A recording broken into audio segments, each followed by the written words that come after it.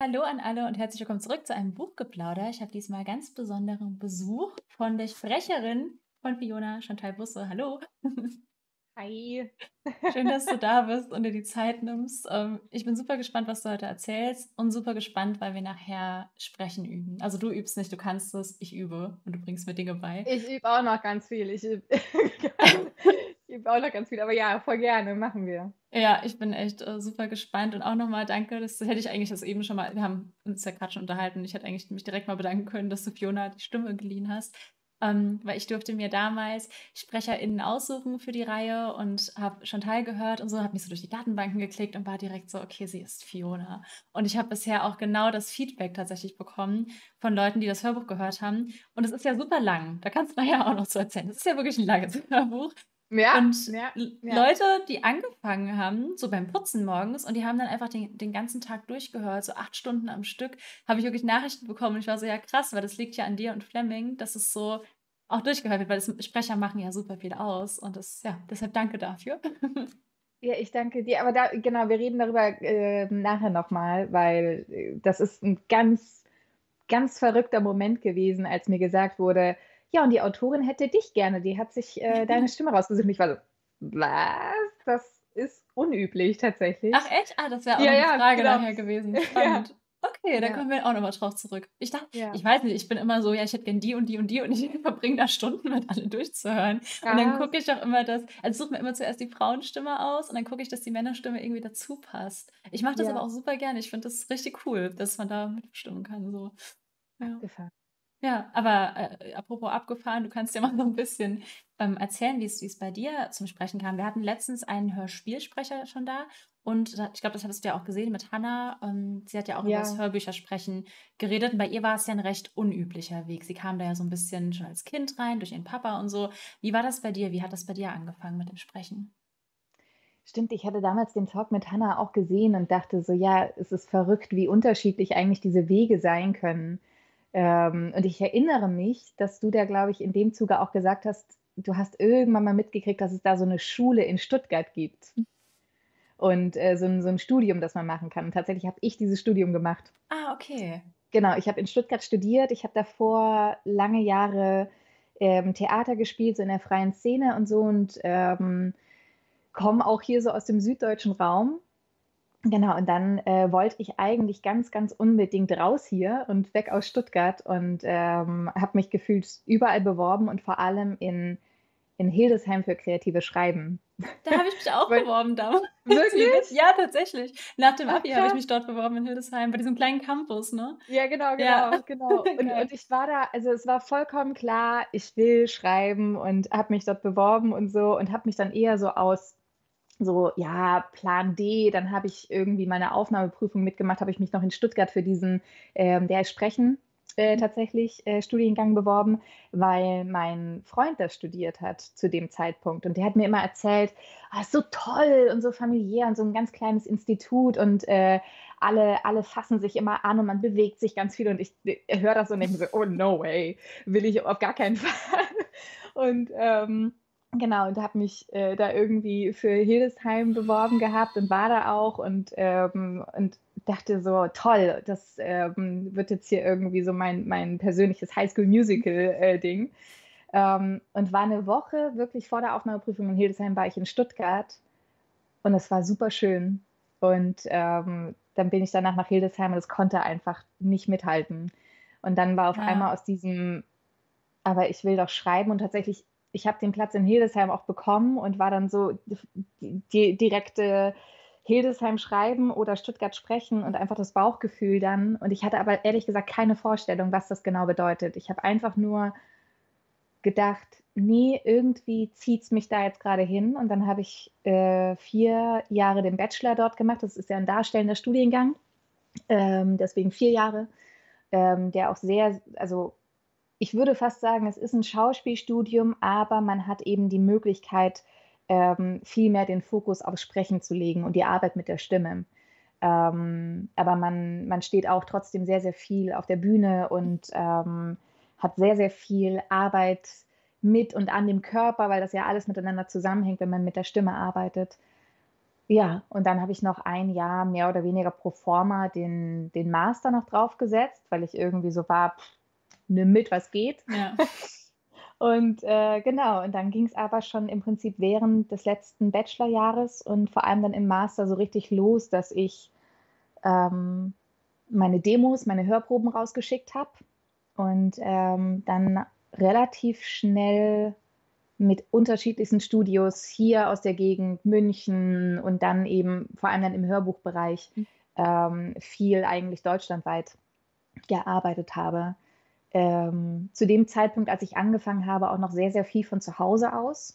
Das wird leider, leider in der Hörbuchbranche immer gängiger, dass viele KollegInnen, ähm, 'n eigenes Studio zu Hause haben, habe ich auch.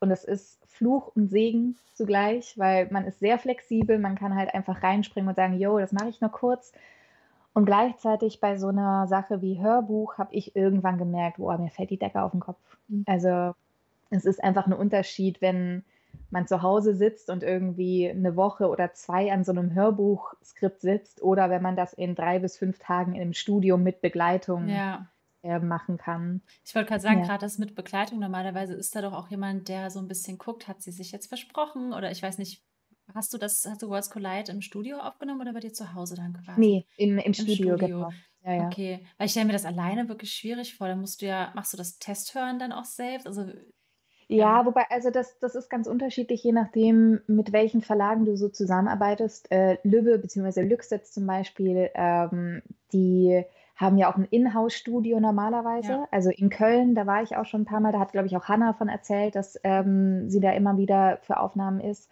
Und, äh, für Worlds Collide aber wurde ich nach Hamburg, äh, Ach cool, okay. Weil ja Flemming aus Hamburg kommt. Mhm. Und, äh, denen war's wichtig, dass wir beide zusammen in einem Studio sind oder zumindest im selben Studio aufnehmen, weil tatsächlich wir haben uns nicht gesehen. Ah, das wollte ich mich auch noch fragen, ob ihr da irgendwie Ja. noch weil es ist ja so, dass nur eine Person auch gleichzeitig in diesen Raum rein kann, aber ihr habt euch dann quasi gar nicht getroffen bei den Aufnahmen? Ne, also äh, tatsächlich, die haben da auch mehrere mehrere Kabinen. Also, wir hätten uns Ah, eigentlich auch okay. über 'n Weg laufen können. Ich habe nur mitbekommen, dass die, ähm, Tonmeisterin, die mit mir an einem Tag aufgenommen hat, die meinte: „Ah, morgen nehme ich mit Flemming auf, dann nimmst du mit jemand anderem auf“, weil sie dann nämlich ihm sagen konnte: „Hey, äh, deine Kollegin hat das nämlich gestern so und so gemacht.“ Ich habe im Voll Prinzip gut, ja. entschieden, ähm, wie Wie die wie alle Ton ausgesprochen werden. Ja, genau, wie wie er ausgesprochen wird. Genau, genau. Cool, Ja. das wollte ich nämlich auch noch fragen. Ich glaube, du hattest mir einmal sogar geschrieben, wie du das und das aussprechen sollst und so. Genau. Ähm, aber stelle ich mir auch spannend vor, dass das dann so kohärent bleibt, die Aussprache. Und wenn man dann gar keinen Kontakt hat insofern ist dann ja voll gut, dass einer vom Studio da war und sagen konnte so: Ja. „Hey, aber sie hat das Englisch ausgesprochen oder das Deutsch“ und Ja. ja, total Das ist cool. tatsächlich was das sind so leicht vermeidbare Fehler, die wo ich manchmal dann nicht verstehe, warum, ähm, das nicht von vornherein viel selbstverständlicher ist, dass dann auch die SprecherInnen miteinander Kontakt haben. Also, Mhm. je nach Verlag manche Verlage, was ich sehr, sehr schön finde, schmeißen einen auch mit, wenn das geht, mit der Autorin oder so in in 'ne Telegram-Gruppe zum Beispiel. Mhm. Und dann kann man sich darüber so 'n bisschen austauschen und dann auch Nachfragen stellen und eben auch untereinander die SprecherInnen so 'n bisschen, ähm, beratschlagen: „Hey, wie wie hast du eigentlich die Figur angelegt? Also, was für Mhm. 'ne Stimme hat die?“ Und so weiter. Und ich habe, ähm, ich glaube, letztes Jahr beispielsweise bei 'ner bei 'ner anderen Autorin in 'ner Reihe mitgesprochen, wo jeder Band, ähnlich wie bei dir, Mhm. von 'ner anderen Sprecherin und von 'nem anderen, ähm also einfach in 'nem anderen Team sozusagen gesprochen wurde und habe dann irgendwann mal in die in die ersten oder ich weiß gar nicht, ich glaube, ich war die Letzte im letzten Team sozusagen für den 3. Teil und, äh, habe dann so als Recherche mir die Sachen auf Spotify angehört Mhm. oder zumindest mal gefragt, so: „Hey, könnt ihr mir irgendwas sagen, wie wie die die Stimme angelegt haben?“ Und habe dann festgestellt, ähm, dass beispielsweise eine Figur bei der weiblichen Sprecherin so so fast schon so 'n britischen Akzent hatte und bei dem männlichen Sprecher klang der aber ganz anders und dann im 2. Teil tauchte die Figur wieder auf und klang wieder anders. Und das finde ich super schade, Habe ich das nicht tatsächlich nie drüber nachgedacht, aber ja, stimmt, weil also, ich glaube jetzt in der Worlds-Reihe doch stimmt, Casey zum Beispiel kommt ja auch in Band Ja, 1 ja. vor und ist ja Protagonistin von Band 2, stimmt. Ja, habe ich nie drüber nachgedacht, aber absolut logisch. dass man da dann irgendwie eigentlich so ein bisschen stringent bleibt oder halt irgendwie weiß nicht, ob das dann ein Job für uns AutorInnen wäre, dass wir dazu schreiben, hey, die ist so oder so angelegt, eher queerlig oder eher so. Kann man ja eigentlich ja. mitgeben. Ja. Ich finde das total schön, wenn, also mittlerweile sind ja vor allem Autorinnen ähm, ganz viele auch auf Social Media unterwegs. Und wenn ich da irgendwen finde, den ich fragen kann, so, hey, wie hast du dir das vorgestellt? Also sowohl ganz klassisch Aussprache, aber eben auch, ähm, muss ich bei bei dieser oder jener Figur irgendwas beachten. Ich meine, allein, dass du mir äh, gesagt hast, dass die, dass die Agentin einen spanischen Hintergrund hat, mhm. hat für mich ähm, super viel mit dem Bild gemacht, was ich im Kopf von dieser Frau mhm. hatte. Und ähm, ich meine, spannend ist natürlich auch, ich weiß nicht, ob das zu weit geht, aber wenn, wenn du schon im Vornherein weißt, hey, den zweiten Teil ähm, aus der Sicht von Casey wird Sprecherin XY sprechen, ähm, ist das natürlich für mich die die Casey als ja, beste Freundin da hat. Super spannend zu wissen, wer ist diese Sprecherin und wie, was für eine Stimmfarbe hat sie. Mhm. Ähm, ja. Hätte ich dir sagen können. Verdammt, habe ich nicht gemacht. Ja, Aber ich, ich glaube, ich darf es noch nicht sagen, weil sie war so, darf ich das ankündigen? Ich so, ja, okay, mach. Und sie hat es Okay, okay. Kann ich dir nachher heim, ich schreibe es ja, auf Instagram. Ja, ja. Ähm, oh! ja. Nee, die stehen tatsächlich alle ähm, fest. Also für Band 2 jetzt zumindest. Ich durfte damals meine Wunschkandidatin reinhauen und ähm, bisher muss ich auch wirklich, also Props an Lübbe und Lux haben sie es immer umsetzen können. Ich meine, kann ja immer mal passieren, dass auch Sprecher oder Sprecherin keine Zeit hat. Ähm, aber sie haben bisher immer gefragt, was ich total schön fand. Und ja, mag das auch, dass das, ähm, damals war es Viola von Lübbe, ich weiß gar nicht, ob sie das noch macht, ähm, dann einen immer so involviert und dass man da so, so aussuchen darf. Weil ja, du hast ja eben schon ja. gemeint, dass das für dich eher selten ist, dass du so irgendwie darauf angesprochen wirst? Wie passiert das dann im Normalfall? Bewirbst du dich dann auf eine Rolle oder kommt einfach ein Verlag auf dich zu, weil der Verlag dich ausgewählt hat? Ja, eher letzteres. Also okay. ähm, im Prinzip habe, also dem Verlag bzw. mehreren Verlagen liegen meine Hörproben vor mhm. ähm, und die kriegen dann dieses Buch, das, das Manuskript reingespült und ähm, können dann sagen, ah, wir können uns diese oder jene Stimme dafür vorstellen. Und ähm, wenn das eine Stimme ist, die nach meiner klingt, dann werde ich gefragt, ob ich ähm, zum einen natürlich Zeit, aber auch Interesse an dem Projekt habe. Und dann kann es sein, dass nochmal ein Casting stattfindet, dass ich eine kleine Hörprobe aufnehmen muss, um, also so zwischen eins und sechs Seiten, damit ähm, der Verlag, aber unter anderem eben auch die äh, Autorin so ein äh, Eindruck dafür bekommen kann, wie klingt das dann, wenn ich das machen würde. Und dann ähm, entscheidet sie sich im besten Fall für mich. Und äh, ja, aber das ist so der gängige Weg. Aber wirklich, ich habe diese Mail bekommen äh, von Sarah, war das, glaube ich, mittlerweile. Ja, genau, ja. Viola ist in, in äh, äh Babypause. Ah, okay, deshalb war sie nicht da. Ich habe plötzlich nur Sarah geschrieben. Ich war so, was ist ja, genau. Viola passiert? Okay. Nee, nee, genau. Ich glaube, Dann wäre ein schöner genau, Grund, ja. Ja, äh, genau. Sarah hat sich bei mir gemeldet und ich war zu dem Zeitpunkt auf der Buchmesse in Frankfurt. Ähm, und diese Mail kam und da stand dann, ja, hier das, äh, das neue Buch von äh, Annabel Stehl und äh, sie hat sich ähm, deine Stimme gewünscht für den, für den ersten Teil. Und ich war so, was? Voll schön. Ja, direkt irgendwie mein, meinem Freund diese, diese Mail und war so, was? Und habe mich total gefreut. Und dann bin ich auch direkt äh, zum, zum Lübbe-Lück-Stand gerannt und habe nach deinen Büchern gesucht und war Ay, so cool. voll, voll im Hype. ähm, ja, Ach, cool. und das, aber das ist mir so wirklich zum also so bewusst zum ersten Mal passiert. Ähm, klar gibt es irgendwie, glaube ich, immer das Ding von AutorInnen gucken, vor allem bei kleineren Verlagen können die ja auf der Webseite manchmal schon mal Hörproben und so weiter anhören und in diese Kartei reinhören ähm, und eine Vorauswahl treffen. Mhm. Aber ganz häufig macht das der Verlag selbst und fragt gar nicht. Ja. Aber das, das finde ich spannend. Also äh, zum einen, wie ist das Prozedere jetzt auf deiner Seite mhm. gewesen mhm. äh, und wie bist du dann letztlich auf die Stimmen oder beziehungsweise auf meine Stimme gekommen für Fiona? Ja, ähm, bei Band 1, also Band 1 Away damals, also schon 2019 oder so war das, ähm, hat mich Viola damals halt eben angeschrieben von Lübbe und hat gemeint, ja, wir machen Audiobooks, ist ja bei, bei Lübbe normal ähm, magst du dir SprecherInnen aussuchen? Und ich so, oh ja, und bin dann einfach, sie hat mir so Sachen aus, aus ihrer Kartei geschickt, dann habe ich da so rumgestöbert und ein bisschen online Und bei Band 2 habe ich Viola, also bei Reihe 2 so rum, für die Worlds-Reihe, habe ich Viola so direkt geschrieben, darf ich nochmal aussuchen? Und sie so, ja, ja, ich hätte mich noch gemeldet. Ich so, oh, okay. ähm, weil ich halt selbst, ich höre super gerne Hörbücher. Ich, ich bin halt bei Bookbeat und höre so alles. Ich höre morgens im Bad, ich höre abends zum Einschlafen. Das begleitet mich so im Alltag, dass mir halt Stimmen auch irgendwie so, also es macht so viel aus bei einem Buch.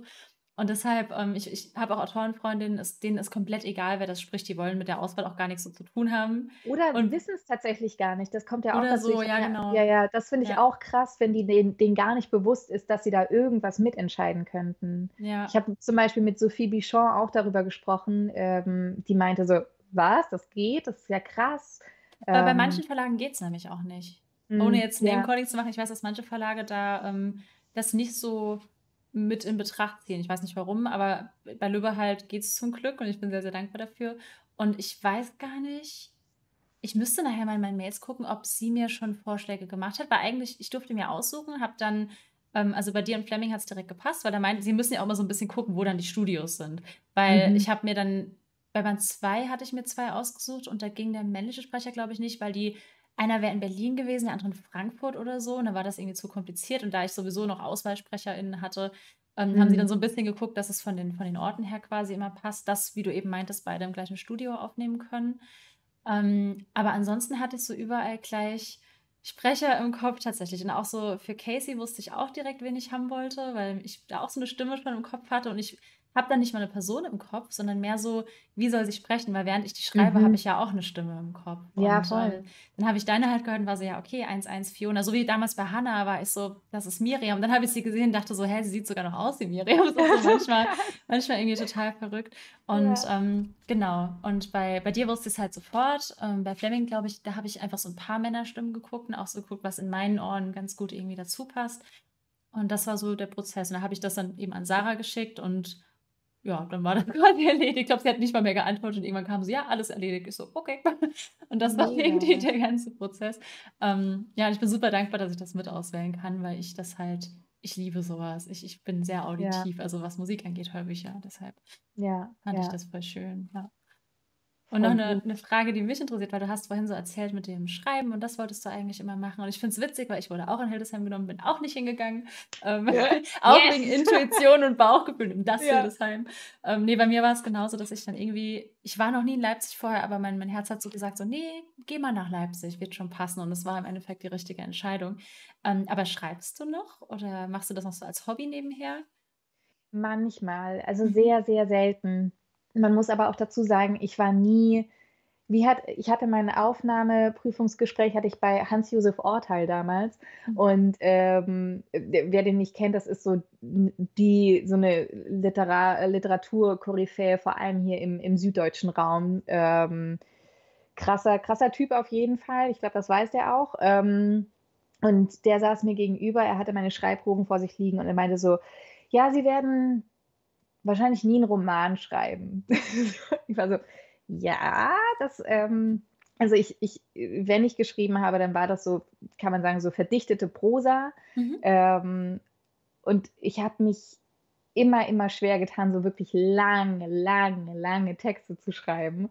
Ähm, mir das dann damals so auf den Kopf zuzusagen, dachte ich auch so, ja, hm, weiß nicht, Mhm. also weiß nicht, was in diesen vier Jahren noch passieren kann, aber danke, dass du mich schon mal in der Ecke gesteckt Ja, hast. total. Ähm, ja, äh, aber es war tatsächlich auch nie so, dass ich, dass es mir so super leicht gefallen ist. Also ich bin Mhm. so eine sehr verkopfte Schreiberin und, und das war immer so ein bisschen krampfig. Und ähm, es hat mir zwar auf der einen Seite Spaß gemacht, wenn dann, wenn dann so ein Text fertig war, aber der Weg dahin war immer Mhm. Arbeit. Und ich dachte dann damals, ja, so, ja, ja, hier dieses typische, so eine Künstlerin muss auch leiden und das muss, also darf auch irgendwie, ist auch schon in Ordnung, wenn das nicht einfach ist und so. Aber ähm, also spätestens seit jetzt meinem, meinem Studium, seit dieser Zeit in, in Stuttgart an diesem Institut, weiß ich, dass das totaler Bullshit ist. Also Dass es dir darf Spaß es gut machen gehen. darf, ja. Es Ja, darf Spaß machen und ich, es darf äh, dir auch ein Stück weit leicht fallen äh, und ja, so eine Leichtigkeit in dein Leben bringen. Und du, ja, dieses typische Ding von Künstlerin muss leiden, ist, ja. finde find ich voll schön, dass du das sagst, weil ich mich früher, ich glaube so 18 bis 21 oder so, in dem Ja. Dings wirklich gefragt habe, so, boah, kann ich überhaupt schreiben? Bei mir geht es ziemlich gut. So, es war wirklich so, Ja. ich, ich hatte eine super leichte, Ja. privilegierte Kindheit und war die ganze Zeit so, Ja. Habe ich dann, habe ich dann was zu sagen, so nach dem Motto, was ja Mhm. natürlich jeder hat, jeder hat eine Geschichte zu erzählen und sein Päckchen zu tragen. Ähm, aber dieses Leiden der Künstler hatte ich auch sehr im Kopf tatsächlich, dass das Ja. so sein muss, um gute Kunst Ja, zu schaffen, was ja gar nicht stimmt. auch ein bisschen den Eindruck, dass das in Hildesheim so ein bisschen oh Gott, ich hoffe, kein Hildesheim-Bashing. Also, mein mein mein Freund beispielsweise hat da auch studiert und der hatte eine sehr gute Zeit dort und hat da sehr Ja. tolle Leute kennengelernt. Und ich weiß auch, es gibt ja sehr Leute äh, sehr viele Leute, die die tolle tolle Bücher schreiben. Ähm, ich hatte nur, äh, schon auch vor allem bei jüngeren Leuten den Eindruck, dass da, ähm ja, dass das da auch so ein bisschen dahin gedrängt wird. Also, am besten du rauchst Kette, am besten du fängst noch eine Affäre mit dem Professor an oder solche Sachen, wo ich dann manchmal so dachte so: „Ne, ich, hm, Will ich weiß nicht. nicht.“ Ja, ja. Lustig. Ja. Ja, also so so tief drin war ich nie in Hildesheim, ähm, weil es bei mir dann eh direkt Leipzig wurde. Aber ich glaube, das ist tatsächlich ein Bild, was sehr promoted wird teilweise. Ist nicht, glaube ich, nicht Ja, mehr ja. ganz so doll tatsächlich. Ich glaube auch durch Social Media, weil da jetzt einfach ein bisschen alles so öffentlicher zugänglich ist, wie AutorInnen so leben und was sie so treiben.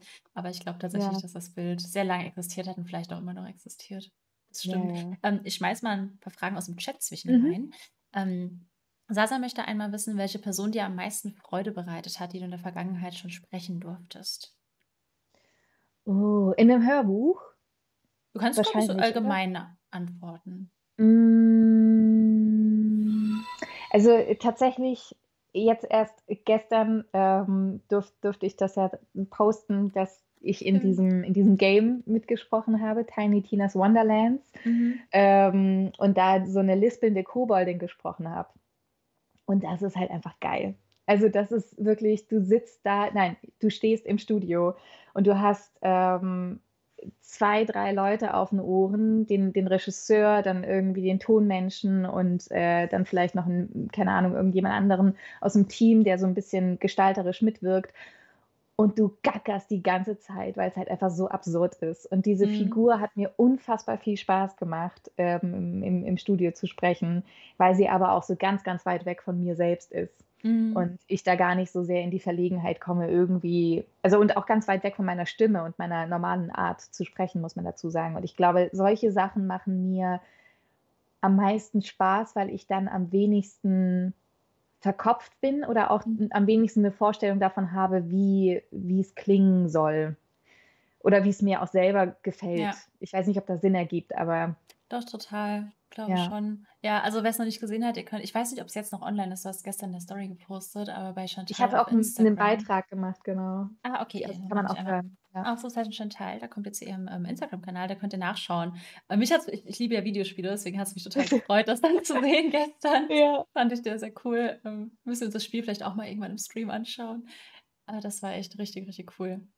Ähm, dann wurde noch geschrieben von Nini, wo ich nur zustimmen kann. Chantal passt wirklich super für Fiona. Yes. Und, ähm, die. Frage, ob es lustige Versprecher bei Worlds Collide gab, an die du dich erinnern kannst, wurde noch im Chat gestellt. Oh, also, ich überlege. Ich, äh mir fällt grade kein lustiger Versprecher ein. Mir fällt ein, dass ich, ähm, bei bei der Rede von Fiona, die sie da, ähm hier und das haben wir zusammen gemacht und, äh, das ist für uns alle dass ich da im Studio saß und war so Lilly Lilly hieß meine Ton ähm. Ich meine so: „Lilly, halt mal, stopp. Stopp mal kurz.“ Und Oh so ja, und war so: „Okay, jetzt okay, jetzt nicht heulen, nicht heulen jetzt.“ Aber das, ähm Sei ja, froh das sei froh, dass du Band 2 nicht lesen musst. Ich habe Oh meine Gott, oh Gott. Lektorin auf, äh, Seite 2 zum Heulen gebracht und bin so: „Hm.“ Ich Oh weiß ja, wer krass. sprechen muss, ich muss ihr danach mal schreiben. Aber witzig, dass du das sagst, weil mir hat eine die hat 'ne Story gepostet und ihren Arm fotografiert bei dieser Rede und da hatte sie Gänsehaut. Und dann hat sie nur so geschrieben: „Oh ja, das ich habe grad Gänsehaut bekommen bei der Rede.“ Ich muss mir die Ach noch mal krass. anhören, wie du sie gesprochen hast. Ähm, ich habe nämlich nur ich habe so reingeskippt immer und so reingehört, aber noch Ja, nicht ja. nicht so richtig, äh ja, da muss ich das mal machen. Cool. Hat auch richtig Ja. Spaß gemacht, so zu schreiben irgendwie, weil da Ja, habe ich dann so glaube 'n ich. Ja, war, war eine der ersten Szenen, die ich, bevor ich das Buch wirklich geschrieben habe, geschrieben habe, um Fiona kennenzulernen, tatsächlich, die Rede. Mhm. Ja, cool. Freut mich. Äh, also ich, ich glaube, man, ich als Sprecherin merke auch oder meine zu merken, wenn, wenn so beim Schreiben so ein Flow entstanden ist. Mm. Und ähm, das, das überträgt sich instant auf, auf die Art und Weise, wie man spricht, wie leicht es einem auch so über die Lippen geht. Und ähm, das ist halt einfach, ja, so, so ein ganz, du musst gar nicht irgendwie jetzt drüber nachdenken, mache ich jetzt hier eine Pause oder nicht, weil es halt Mhm. einfach so, das ist mir aufgefallen bei dieser Rede, es ist einfach so rausgeflossen, dass, also ich glaube, wenn ich nicht gesagt hätte, wir müssen mal kurz Pause machen, weil Mhm. ansonsten klingt meine Stimme, vor allem weil sie ja auch noch sagt, so, ich wollte das mit klarer Stimme sprechen und Ja. ich kann das gerade nicht. Aber Ja. hätte ja auch gepasst. Wäre sie halt kurz Ja. emotional geworden. Aber wie cool. Ja, das Ja. freut mich gerade irgendwie, dass das so rüberkam. Ich glaube, das merke ich auch immer, wenn ich dann am Ende so die Druckfahne bekomme und ich lese dann alles nochmal durch, erinnere ich mich wieder an die Stellen, an denen ich im Flow war, weil da sind dann auch so Sätze drin, wo ich so denke, so, habe ich das geschrieben? Und ich weiß es Mhm. einfach gar nicht mehr. Ja, Aber ja, spannend. stimmt. Und bei so anderen Sachen, wo du dann dir so wirklich, wie du halt meinst, dieses verkrampfte, verkopfte Schreiben, wo du dir so einen abbrichst, das sind auch immer die, wo Mhm. ich am Ende nochmal mehr überarbeiten muss, weil ich so Ja. merke, es ist irgendwie nicht so im Flow. Ja. Ja, witzig. Ähm, an Chantal, witzig, das war eine der nächsten Fragen, die ich auch stellen wollte. Wie oft liest du einen Text, ein Buch, bevor du ins Studio gehst? Aber wir hatten es ja gerade von Versprechern. Wie bereitest du dich darauf vor? Wir schauen uns ja nachher auch noch ein Skript von dir an, das du vorbereitet hast. Genau. Aber genau. liest du das einmal quasi vorher durch? Liest du es mehrmals durch? Wie passiert das? Also meistens äh, bleibt leider nicht die Zeit, um es ähm, mehr als einmal zu lesen. Ähm, ist auch die Frage, ob, also ich kenne KollegInnen, die machen das tatsächlich einmal so und dann nochmal, um, um sich äh, Markierungen zu machen. Ich mache das tatsächlich in einem Rutsch. Also ich lese, ich markiere und ähm, also manchmal jetzt habe ich so gemacht, dass ich einmal lese und erstmal nur wör äh, wörtliche Rede mir anstreiche und die einen Überblick bekomme, wie viele Figuren begegnen mir eigentlich. Und die, die andere äh, Art, das zu bearbeiten, ist ja dann wirklich Markierungen zu setzen, wo, welche Stimmung ist das, ähm, wo setze ich Pausen, wo trenne ich Endlossätze beispielsweise auf, wo kann ich atmen und so weiter, wo liegt die Betonung und so weiter. Ähm, also auf jeden Fall mindestens, mindestens einmal. Ähm, und meistens äh, passt es dann leider zeitlich einfach nicht, es nochmal zu lesen. Ja. Aber ja, es ist ist, ja auch also, super viel Arbeit. Also mich nervt es schon, ja, wenn ich die Druckfahne mehr als einmal lesen muss. Deswegen, ich verstehe das gut. vor allem du musst ja wirklich häufig, wirklich häufig Ja, diesen Text durch. Das ist so, das ist so krass, ey, wenn, wenn ich mir überlege, was, was da an Zeit und, und Energie da von AutorInnen in diesen Text reingesteckt wird, bevor der dann wirklich. Heftig, Meine ja. Lektorin liest auch, äh, das wusste ich auch gar nicht, sie hat mir dann auch nochmal geschrieben, ja, ich lese ihn jetzt nochmal, dann in der Druckfahne nochmal. Und ich so, hast du überhaupt noch Bock? Selbst ich habe keine Lust Mhm. mehr. Ja. Also ja, tatsächlich. Das ist mm, tatsächlich auch eine Komponente, wenn, wenn du den Text zu gut kennst, dann denkst du nicht mehr mit. Ja. Also ich merke das manchmal schon, ähm, ich weiß gar nicht, ob ich das sagen darf, aber manchmal, wenn ich irgendwie gelesen habe und dann, keine Ahnung, eckige Augen bekomme und so weiter, dann, dann höre ich auch manchmal in dem Kapitel auf. Und ich weiß nicht warum, aber manchmal denke ich so, ja, das Kapitel habe ich ja schon gemacht und springe zum nächsten Mhm. Kapitel. Und dann begegnen mir immer mal wieder im Studio so wirklich so kleine Absätze, die ich nicht bearbeitet habe. Und ich bin so, oh Gott, oh Gott, oh Gott. Und ich stelle dann aber fest, es funktioniert fast besser, weil ich viel konzentrierter bin, zumindest für diesen relativ überschaubaren Zeitpunkt. Ich würde mir jetzt, es gibt KollegInnen, die lesen wirklich Bücher prima vista. Ähm, die kriegen das Skript, die reißen das in dem Moment auf, also den Briefumschlag, holen die Blätter raus und lesen. Und ich bin so, seid ihr eigentlich wahnsinnig? Das würde ich Ja. niemals machen. Ich, äh, ist, glaube ich, auch von mir, meiner Seite aus noch so eine Respektsache, dass ich denke, so, mh, irgendwie will Kommt ich darauf an, wie es funktioniert, glaube ich. Ja. Ja, ja, weil ich finde schon, man hört das doch, also es kann Mhm. was haben, dass man sagt so, ah, ich bin voll, ich denke diesen Text, aber manchmal passiert es dann auch, dass, dass man das dann einfach so runterliest und dann, ja, und das will ich nicht. Ja. Aber wenn ich weniger bearbeitet habe und den Text noch nicht so fast auswendig kenne, dann funktioniert das bei mir meistens am besten. Mhm. Ne, verstehe ich gut. Ist bei mir tatsächlich aber auch so. Ich habe ja dann für die Lesung geübt und so. Beim ersten Lesen, es hat super gut funktioniert, weil ich kannte den Text ja schon, aber habe ihn dann Mhm. so gelesen. Dann noch mal und plötzlich habe ich mich angefangen zu verhaspeln. Deswegen habe ich Ja. ihn dann am Tag der Lesung gar nicht mehr Ja, angeguckt ja, und dann ja, dann hat's voll richtig gut. geklappt. Ähm, ich stelle mir's aber auch schwer vor, wenn du's, wie du halt grad meintest, Briefumschläge aufreißen, lesen, dann weißt du ja, wie du grad eben meintest, die ganzen Figuren noch nicht. Und das ist ja auch schwer, die Ne. so richtig zu vertonen. Ich ist wahrscheinlich mehr Arbeit dann im Studio, oder? Weil dann häufiger pausiert Ja. werden muss, weil es steht ja auch nicht immer davor, wer grad spricht. Ja. Stelle ich mir auch Also, schwer ich vor. ich glaube schon, dass es KollegInnen gibt, die einfach schon so, so viele Jahre in dem Bereich arbeiten und Mhm. Erfahrung haben.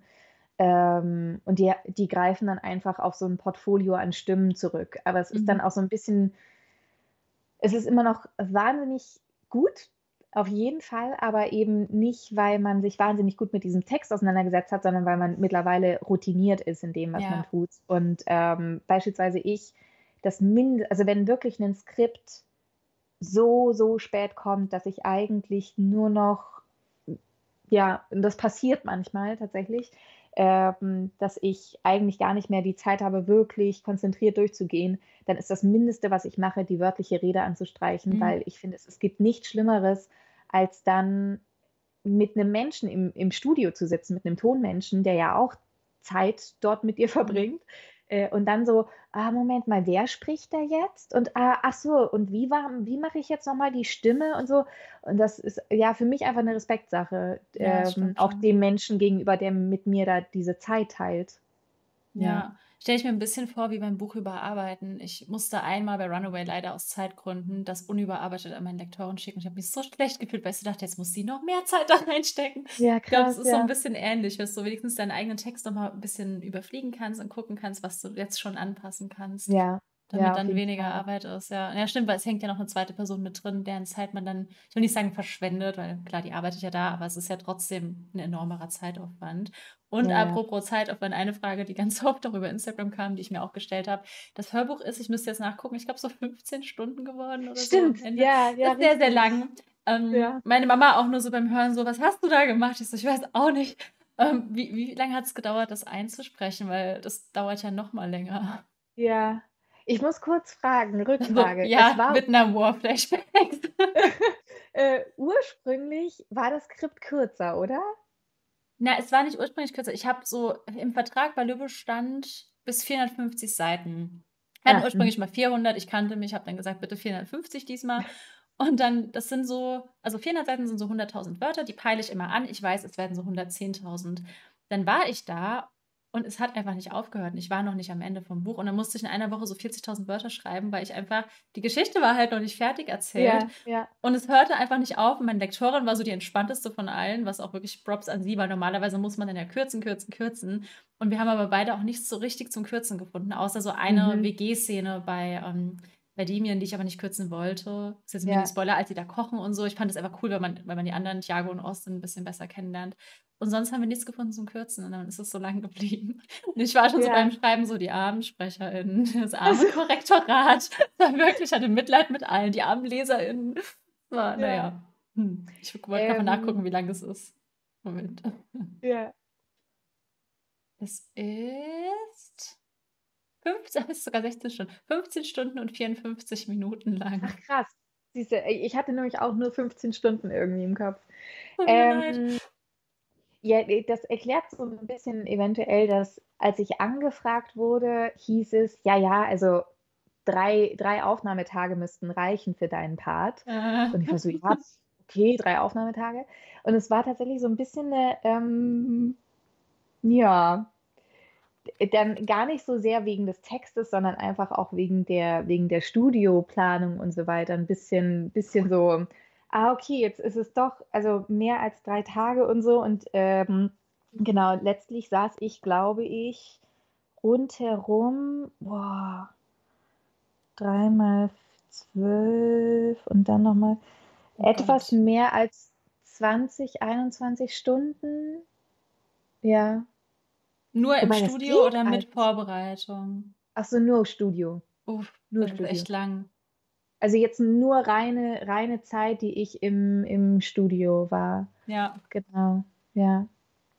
Ja, wobei es also, äh, ich bin gerade ein bisschen überrascht, weil, ähm, tatsächlich eigentlich rechne ich na, ach so, ja, okay, Fleming ist da noch. Stimmt, ich habe ja nicht die 16 Stunden alleine gemacht. Richtig, ja, okay. Ja, Ja, aber es ist ja klar, er er Ja. spricht ja auch noch, aber trotzdem. Ich glaube, es lag daran, dass ich ganz ursprünglich, als ich das Exposé bei Lux eingereicht habe, wollte ich die Bücher immer nur aus einer Sicht schreiben. War so: „Ja, ich erzähle es aus Fionas Sicht.“ Und dann waren aber sowohl meine Agentur als auch Lux der Ansicht, dass es cooler ist, wenn ich's wie bei Away mit beiden Sichten mache, weil ich Ja. auch genug Story hatte für die für die Männer. Und, ähm, dann war das bei den Band 2 und 3 geht's auch so mit den Wörtern, aber bei Band 1, weil ich da ja schon den Plot hatte, habe ich halt noch ganz viel Endymion so mit reinmachen müssen, dann wurd's Ah. immer länger. Ich glaube, dass Ja, es daran lag tatsächlich. Ähm, ja. Entschuldigung noch mal, aber danke, dass Alles ihr euch dem alles trotzdem gut. angenommen habt.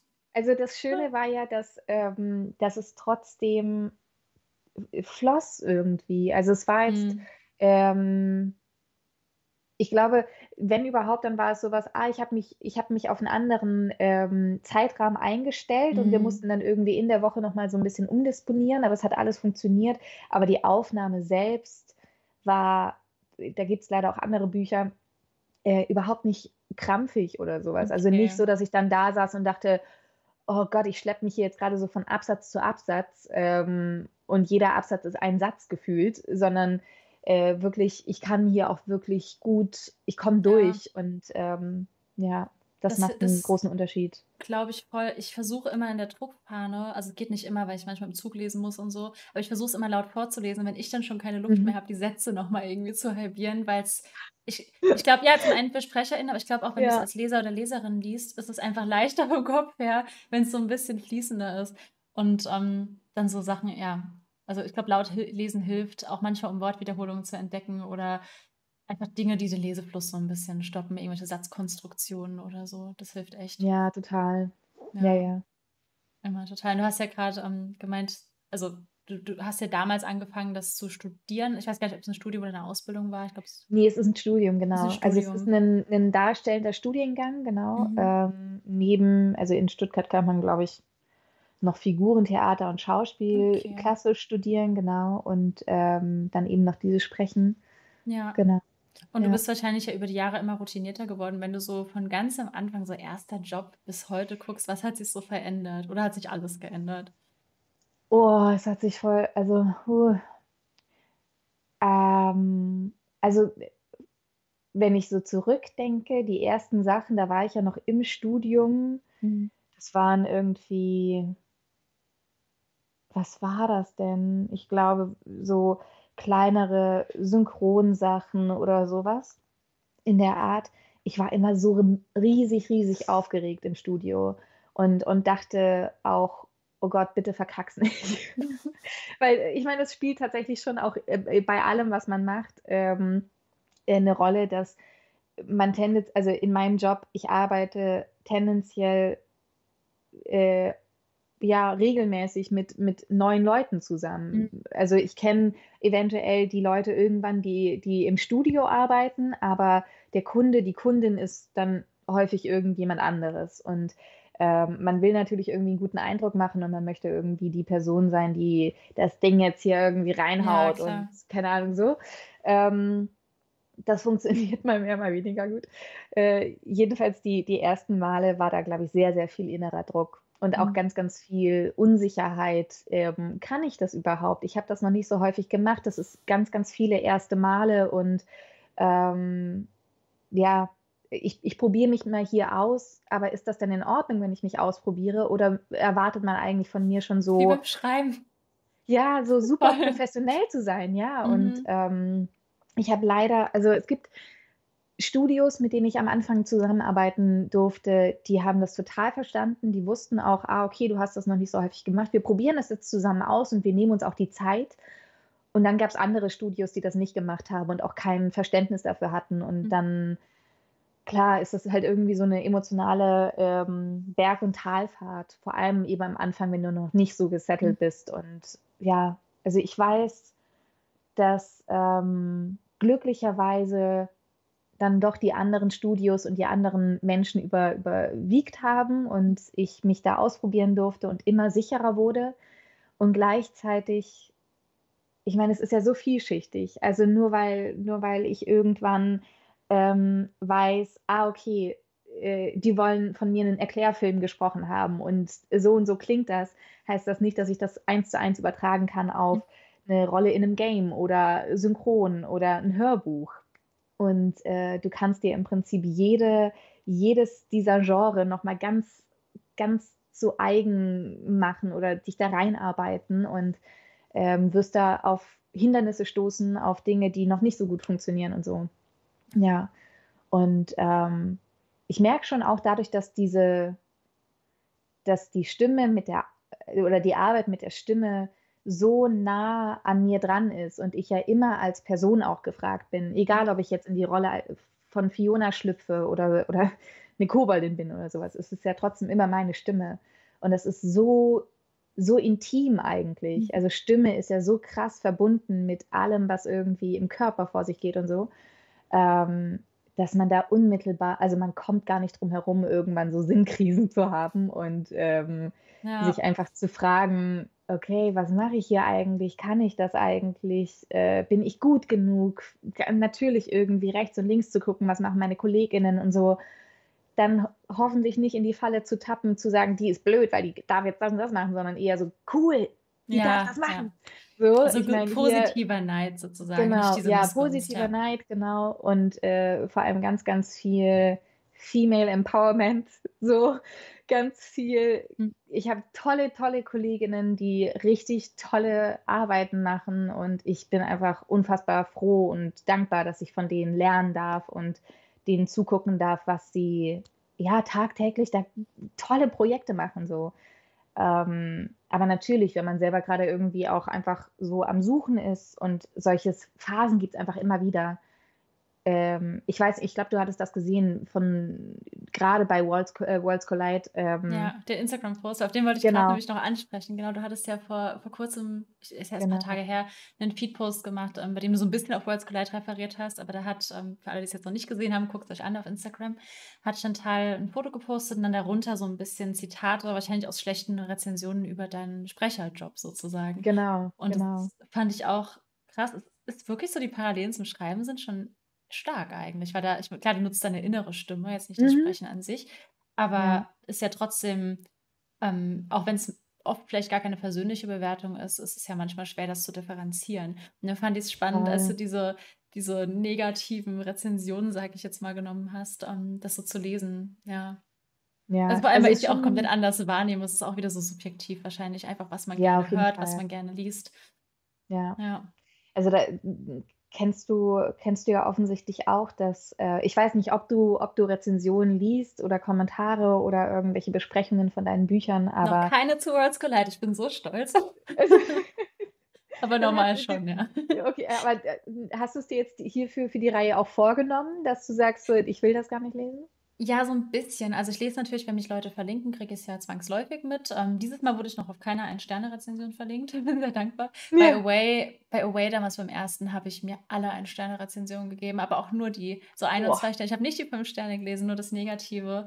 Und ähm, das es wird dann so eine negative Gedankenspirale auch. Und ja. das, ähm, an so Tagen kann man ja auch nicht richtig arbeiten. Dann, das ist dann ja.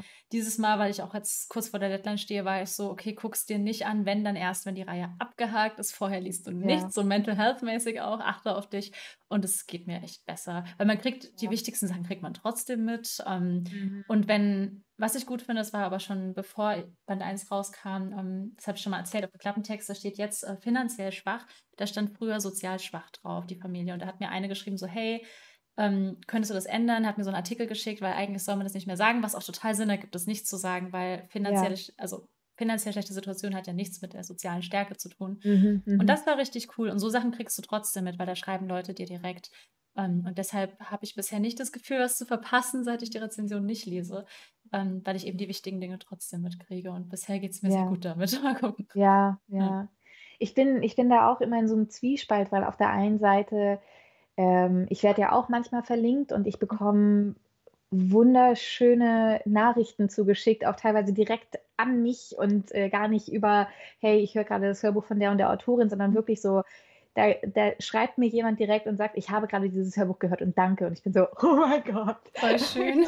ja, es ist ja. super schön. Ähm, und dann aber natürlich äh, passiert es, passiert es. Also ich bringe mich in die Situation, dass ähm, da ist mir das passiert, dass ich diesen, diesen Kommentar oder sowas äh, gelesen habe, weil man natürlich immer nach Feedback sucht. Und äh, tatsächlich gerade im Hörbuchbereich äh, wird es immer, immer weniger, dass, ähm, dass du eine Regie zur Seite gestellt bekommst. Mhm. Das heißt, du sitzt da mit dem, mit dem Tonmenschen und ähm, ich habe höchsten Respekt vor dieser Arbeit und das ist auch ehrlich gesagt einfach nicht deren Arbeitsfeld, dann mhm. zusätzlich noch irgendwie Regie zu machen und äh, da irgendwie mit dir zusammen den Text zu gestalten oder eine Figur zu gestalten. Aber das bedeutet letztlich auch, du hast in dem Moment eigentlich die gesamte Verantwortung dafür, wie, wie du dieses Hörbuch anlegst und wie du die Figuren anlegst oder wie du,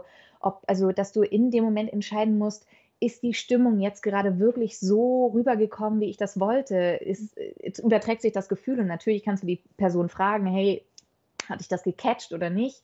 Aber pff, weiß nicht, anderes. wie viel da dann. Ja. Und Wird es dir oder. Sorry, die Rede ist fertig, Entschuldigung. Äh, sorry, ähm, ich wollte eigentlich nur darauf hinaus, dass letztlich du diejenige bist, die diese Verantwortung trägt und dann wird dieses Hörbuch rausgeschickt und das erste direkte Feedback, das du dann tatsächlich bekommst, ist von, äh, von ja. ja. genau. Und dann liest du oder lese ich zumindest, weil ich auch dieses direkte Feedback äh, gerne haben möchte, diese Kommentare. Und ähm, leider, leider, gängig kennt man von Social Media, die Leute, die es gut finden, die schreiben, mhm. wenn überhaupt, ich fand das gut, fertig aber die gehen meistens gar nicht so sehr explizit auf die SprecherInnenleistung ein. Und ähm, die Leute, die es dann richtig, richtig kacke finden, die schreiben dann auch, dass sie es richtig, richtig kacke fanden. Ja, und, und dann zerfetzen so. sie das. Ja. So, ja. Ähm, und dann natürlich wiegt das tausendmal mehr, weil es ja auch viel differenzierter auf einmal ist, mhm. äh, als ein, ich fand das gut. So. Ja. Ja, oder wenn ich merke das auch bei mir, wenn ich was gut finde, ich bewerte dann bei Bookbeat schnell Sprecher, Sprecherin fünf Sterne, fertig. Ich schreibe da nicht mehr wirklich was dazu. Ja. Ähm, gut, ich schreibe bei Bookbeat generell auch bei Negativen nichts dazu, aber in der Regel tendiert man da eher dazu, weil es differenzierter ist. Man kann es an einem Punkt festmachen und man reflektiert es mehr oder man, man weiß, ja. was einen daran jetzt stört. Und beim Positiven hat man so dieses gesamte Wohlfühlpaket. Und ja, genau. Ist, ist bei mir genau. auch so und hinterfragt das dann vielleicht gar nicht so, was daran jetzt so super positiv war. Ja, ja. Ja, aber würde es dir helfen, weil du eben so meinst, Regie und so fehlt, wenn man als Autor oder Autorin so eine Art, keine Ahnung, du meintest ja auch, du musst das Manuskript durchgehen und musst markieren, wie viele Personen das hat. Würde es dir helfen, wenn ich dir eine Excel mitschicke als Autorin und irgendwie reinschreibe, so, hey, diese keine Ahnung, 20 Charaktere gibt's, so sind die und dann schreibe ich gerade bei den ProtagonistInnen ein bisschen was Ausführlicheres, hilft sowas? Weil theoretisch, ich habe sowas eh erstellt für meine Lektorin, könnte man das ah. dann mitschicken. Hm, also, ich finde das erstmal ich finde das immer spannend. Ich finde Mhm. alles spannend, was ich kriegen kann. Und wenn ich in dein so ein bisschen in deinen Kopf reingucken kann, was du dir so gedacht hast, dann freut mich das immer. Ich glaube, es gibt auch KollegInnen, die sagen: „Ey, aber ich will das irgendwie selber gestalten Mhm. und, äh, fühle mich da irgendwie dann angegriffen“ oder beziehungsweise das Ja. Potenzial ist ja dann auch höher, ähm, dass, äh, beispielsweise du eine Vorstellung von Casey hast und ich versuche, diese Vorstellung zu treffen, ähm, weil ich ja auch dann weiß: „Ah, das sind sozusagen die, die Attribute, mhm. die du ihr zuschreibst. Ähm, und dann schlitter ich so dran vorbei. Ähm, ich mache mich weniger angreifbar auch vor dir, wenn ich erst gar nicht frage. Ja, stimmt. Dann habe ich Verstehe alle Freiheiten. Aber ich persönlich, ich finde das ehrlich gesagt ähm, immer spannend, äh, so Input zu kriegen und dann eben auch, ich meine, es ist ja immer noch dein Buch. Das ist ja das Krasse, dass ähm, ich, wer, wer bin ich denn zu sagen, ich weiß es besser als du? Weil wie du aber sagst. ich sehe es andersrum, witzigerweise. Ich mir denke, es ist mein Buch, aber du bist ja im Moment auch irgendwie eine, eine Leserin, auch wenn du natürlich Sprecherin bist. Ähm, mhm. Ähm, ich finde, du machst, es ist ja so ein Teamwork eigentlich, was du schreibst. Und es ist ja wie wenn du eine Ortsbeschreibung hast und du machst die ja nie so detailliert eigentlich. Man schreibt mhm. ja, man beschreibt so ein bisschen den Ort und der Rest passiert ja im Kopf der Leser. Und ich glaube, genauso ist es ja auch bei Personen. Du legst eine Person an, ah. aber wie sie mhm. ankommt, so dieses Sender-Empfänger-mäßige, ähm, ist ja nicht nur in deiner Hand. Und ich glaube, also ich glaube, selbst wenn ich so eine Liste mitgeben würde, wenn die Person entscheidet so, boah, nee, ich lese die aber so und so, wäre das für mich persönlich voll ja. fein. Also, ja. Ja. Ja. Hm. ja. Ich glaube, ja, ich, ich finde das, find das eine super schöne Sichtweise und kann da auch mitgehen. Ähm, ich glaube, ich, ich selber, ich möchte mich in dem Moment gar nicht so sehr über den Menschen oder wenn man das so sagen kann, ich möchte im besten Gewissen äh, in, in deiner, äh, wie kann man sagen, ich möchte dir etwas Gutes tun. So, mit diesem Hörbuch. Das ist ganz lieb. So. Ja, ich muss dir beistehen, ich werde mir diese 16 Stunden niemals ganz anhören, glaube ich. Vielleicht in 20 Jahren. Stunden auch. Ich muss, ich muss auch gestehen, ich höre selber sehr, sehr wenig Hörbücher. Ja. Ähm, ich war jetzt im, im Februar war ich äh, mit dem Camper unterwegs und ähm, habe da zum ersten Mal seit langer, langer, mhm. langer Zeit äh, mal wieder ein Hörbuch, mehrere Hörbücher zu Ende gehört. Ähm, und das war so eine völlig, so völlig neu wieder für mich, dass, also was verrückt ist, wenn man bedenkt, ja. dass ich in dem Bereich arbeite. Aber ich glaube, das ist so ein bisschen, ich weiß nicht, wie es dir beim Lesen geht. Man hat so ein bisschen so einen, so einen analytischen Blick darauf und der ist manchmal dann sehr unentspannt. Ja. Man kann sich da nicht so zu 100 Prozent reinfallen lassen. Tatsächlich wird das echt irgendwann, also auch beim beim Lesen, finde ich. Also ich, beim Hörbücher hören manchmal zum Beispiel fallen mir schon so Wortwiederholungen jetzt auf, weil ich jetzt weiß, ach, meine mhm. Lektorin, die hätte mir das jetzt aber angemarkert. Und ja. ähm, solche Sachen fallen einem dann einfach mehr auf. Also es ist ein, bin gespannt, wie es jetzt wird, wenn ich das Buch jetzt mal fertig habe und mal wieder so richtig mit Freizeit lesen kann. Aber es ist ein anderes Lesen geworden, das stimmt schon. Weil ja. man ja auch selbst weiß, wie man selbst es überarbeitet hätte. Ja. ja. So ist dann beim Hören ja, ja wahrscheinlich auch. Dann denkt man sich so, oh, das hätte ich jetzt aber anders betont. Und ja. Ja, Ganz, ganz schlimm. Ja, ja das also auch, auch so, dass, dass ich dann manchmal, man ist ja dann auch, man merkt so, ah, ich bin auch ein bisschen vorschnell, manchmal mit meinen, ähm, mit meinen Bewertungen oder so, hm, warum hat sie denn die Betonung jetzt auf das Wort gelegt und so. Aber ich merke ja spätestens selber, wenn ich wieder im Studio sitze, wie schnell das, also hey, es passiert so viel. Du hast da, ich weiß ja. nicht, wie viele hundert Seiten. Also come on. Also es geht jetzt wirklich nicht um, ja, aber da hat sie da komisch betont. So. Mhm. Ja. Voll gute Überleitung, weil wir werden ja gleich auch noch, äh, können wir jetzt ja. eigentlich auch machen, lesen. Und ich habe ja gerade gemeint, so wenn ich Hörbücher höre oder lese und mir fallen Wortwiederholungen auf, da bin ich da immer so, die hätte, die wäre mir nicht durchgerutscht. Und dann die Stelle, die wir jetzt gleich lesen, die habe ich auch auf der Lesung gelesen und ich habe in meinem Buch so richtig rumgekritzelt mit Kuli, weil ich innerhalb von drei Sätzen viermal das Wort beide habe. Und ich war so, wie konnte das durchrutschen? Ja. Wie konnte mir das durchrutschen? Meiner Erstlektorin, meiner Zweitlektorin im Korrektorat. Und dann ja. habe ich das so gelesen und war nur so, wo ist der Rotstift? Und habe das erst in meinem Buch korrigiert. Und dann, das ist wie, wie du halt in der zweiten Auflage nicht mehr drin. Nee, den habe ich, ich, ich sollte vielleicht mal Bescheid sagen, stimmt. Ähm, also. Aber man, man übersieht zwangsläufig Dinge, weil das ist dann dieser ja. Tunnelblick. Du kennst den Text, du weißt, was du sagen wolltest und es passiert dann einfach. Deswegen, ja. Ähm, ja. Genau, ich blende den Text mal ein. Dann könnt, sagt mir mal bitte, alle Zuschauenden, ob der groß genug ist. Ich kann ihn sonst noch ein bisschen größer ziehen. Ich glaube, er ist ein bisschen klein. Ähm, Chantal hat uns nämlich das Skript zur Verfügung gestellt, quasi, das sie schon bearbeitet hat. Ähm, und größer, okay, mache ich doch glatt. Größer. Immer noch größer. Okay, Marike. Geht das so? Ich weiß nicht gerade.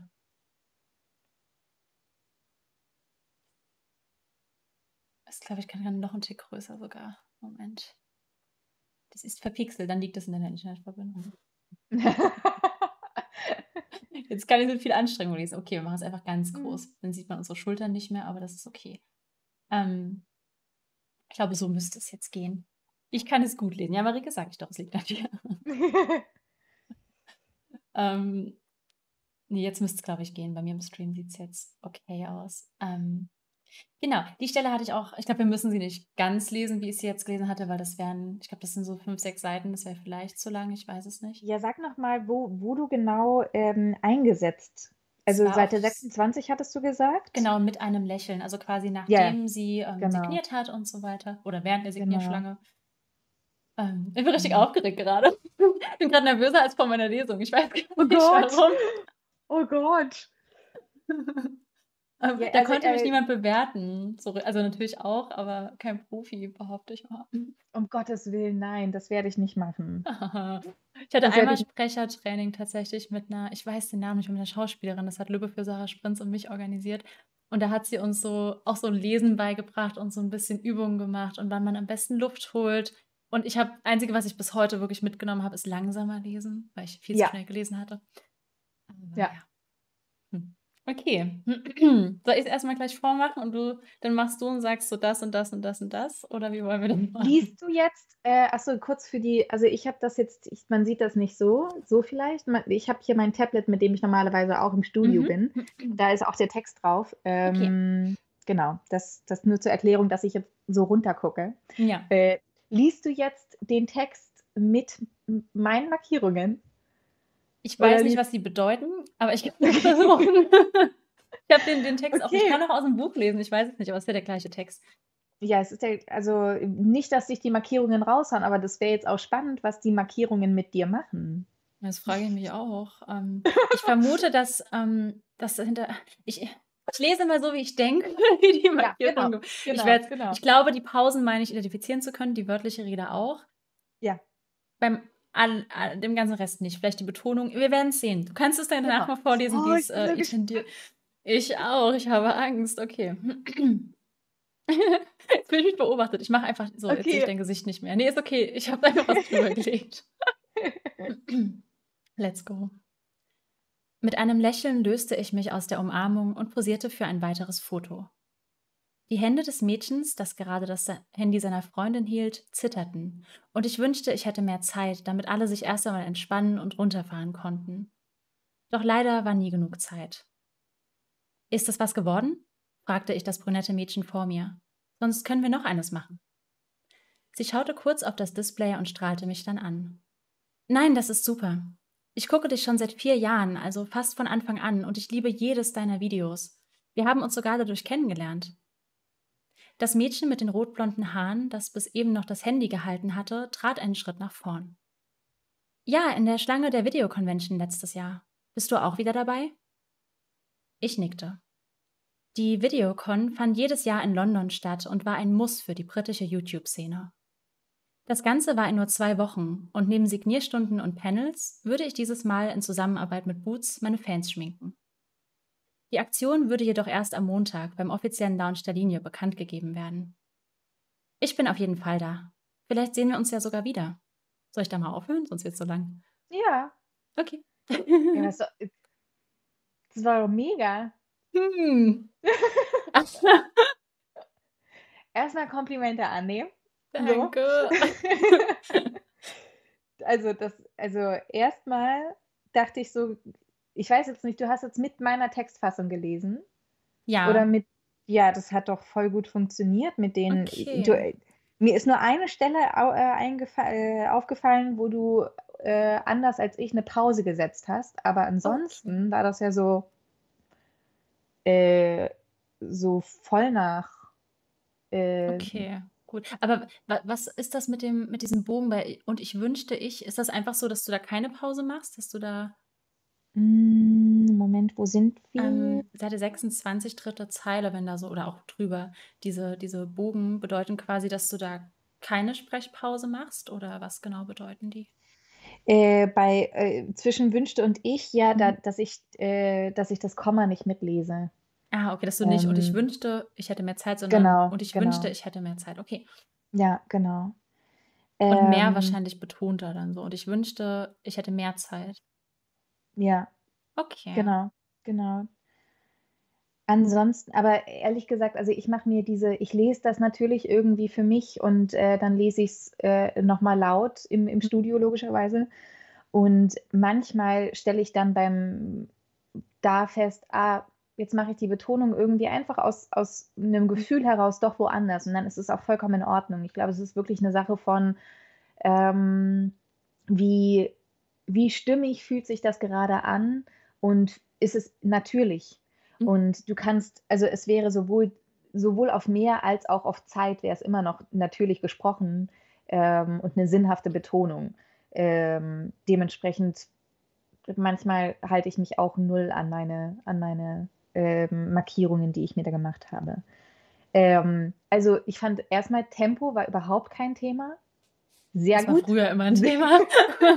Bei mir aber auch. Es ist ganz schlimm. Ich brauche gefühlt irgendwie so ein Kapitel, um also in so ein, okay, und jetzt sind wir angekommen und jetzt können wir auch ein bisschen langsamer machen. Ja. Ja. ähm, ich schreibe mir schreibe ich weiß nicht, ob ich es hier gemacht habe, aber manchmal schreibe ich mir so direkt auf die erste Seite so: „Tempo, Zeit lassen“ und mit ganz vielen Ausrufezeichen, damit ich ja auch auf mich höre. Ja, ich sehe Ähm, gerade, du hast hier hier 'n Smiley hingemacht, ähm, auch auf Seite 26 so 'n ja, Lächeln. Finde ich süß. ja, Einfach, dass du sagst, so glücklich sprechen oder ja, genau, okay. genau, genau. Witzig. Ähm, genau das Einzige wenn ich wenn ich dir überhaupt, äh, was was sagen darf. Auf jeden Fall, So, ja. Ja, ja, okay. ja. Ähm, das Einzige, was ich dachte, wäre, ich hätte mir, ähm, die die Figuren ich hätte mir gewünscht, dass ich die Figuren sehe, wenn sie sprechen. Mhm. Genau.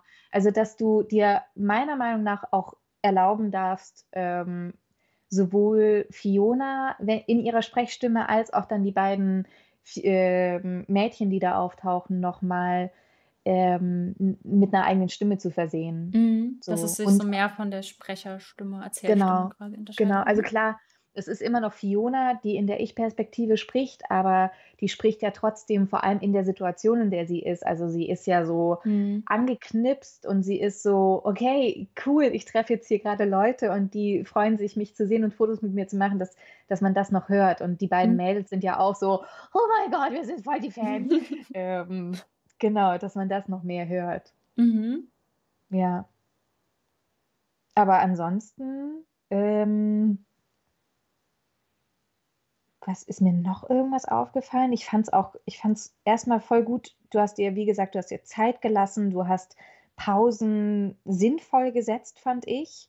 Ähm, ich hatte nicht das Gefühl, dass du irgendwo drüber gehst, ähm, oder, keine Ahnung, dich verhaspelst oder irgendwie nicht zu Mhm. Atem kommst oder so was. Ähm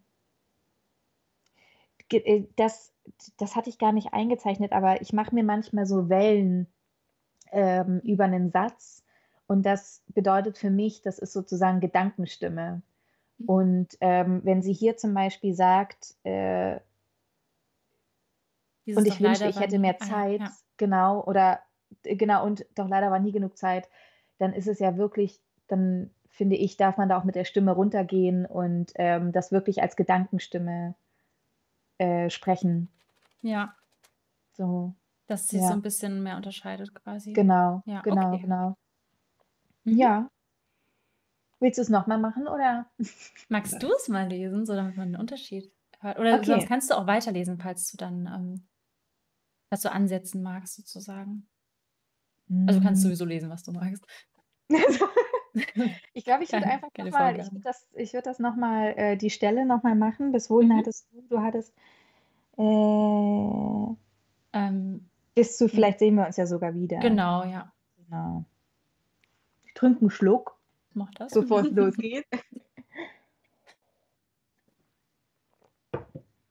Muss aufpassen immer, ich habe Angst, mein mein Hund liegt hier unter mir, äh, Oh. und sie oh, jetzt schnarcht sie und träumt. Okay. Man hört's 'n bisschen, wie süß. Wirklich? Ganz, ganz Ja, leise immer hat man so grad das Schnarchen gehört. Ja. Sie sie ist 'ne sehr wilde Träumerin. Mhm. Äh, äh, das heißt, die Pfoten zucken auch dann die ganze Zeit und irgendwann kann's jetzt sein, dass sie auch mal so „hu, hu“ macht und das also, nur zur Vorwarnung. Süß. Ähm, okay, gut. So, lesen. Wie liest man noch mal? Ähm, mit einem Lächeln, okay. Mit einem Lächeln löste ich mich aus der Umarmung und posierte für ein weiteres Foto.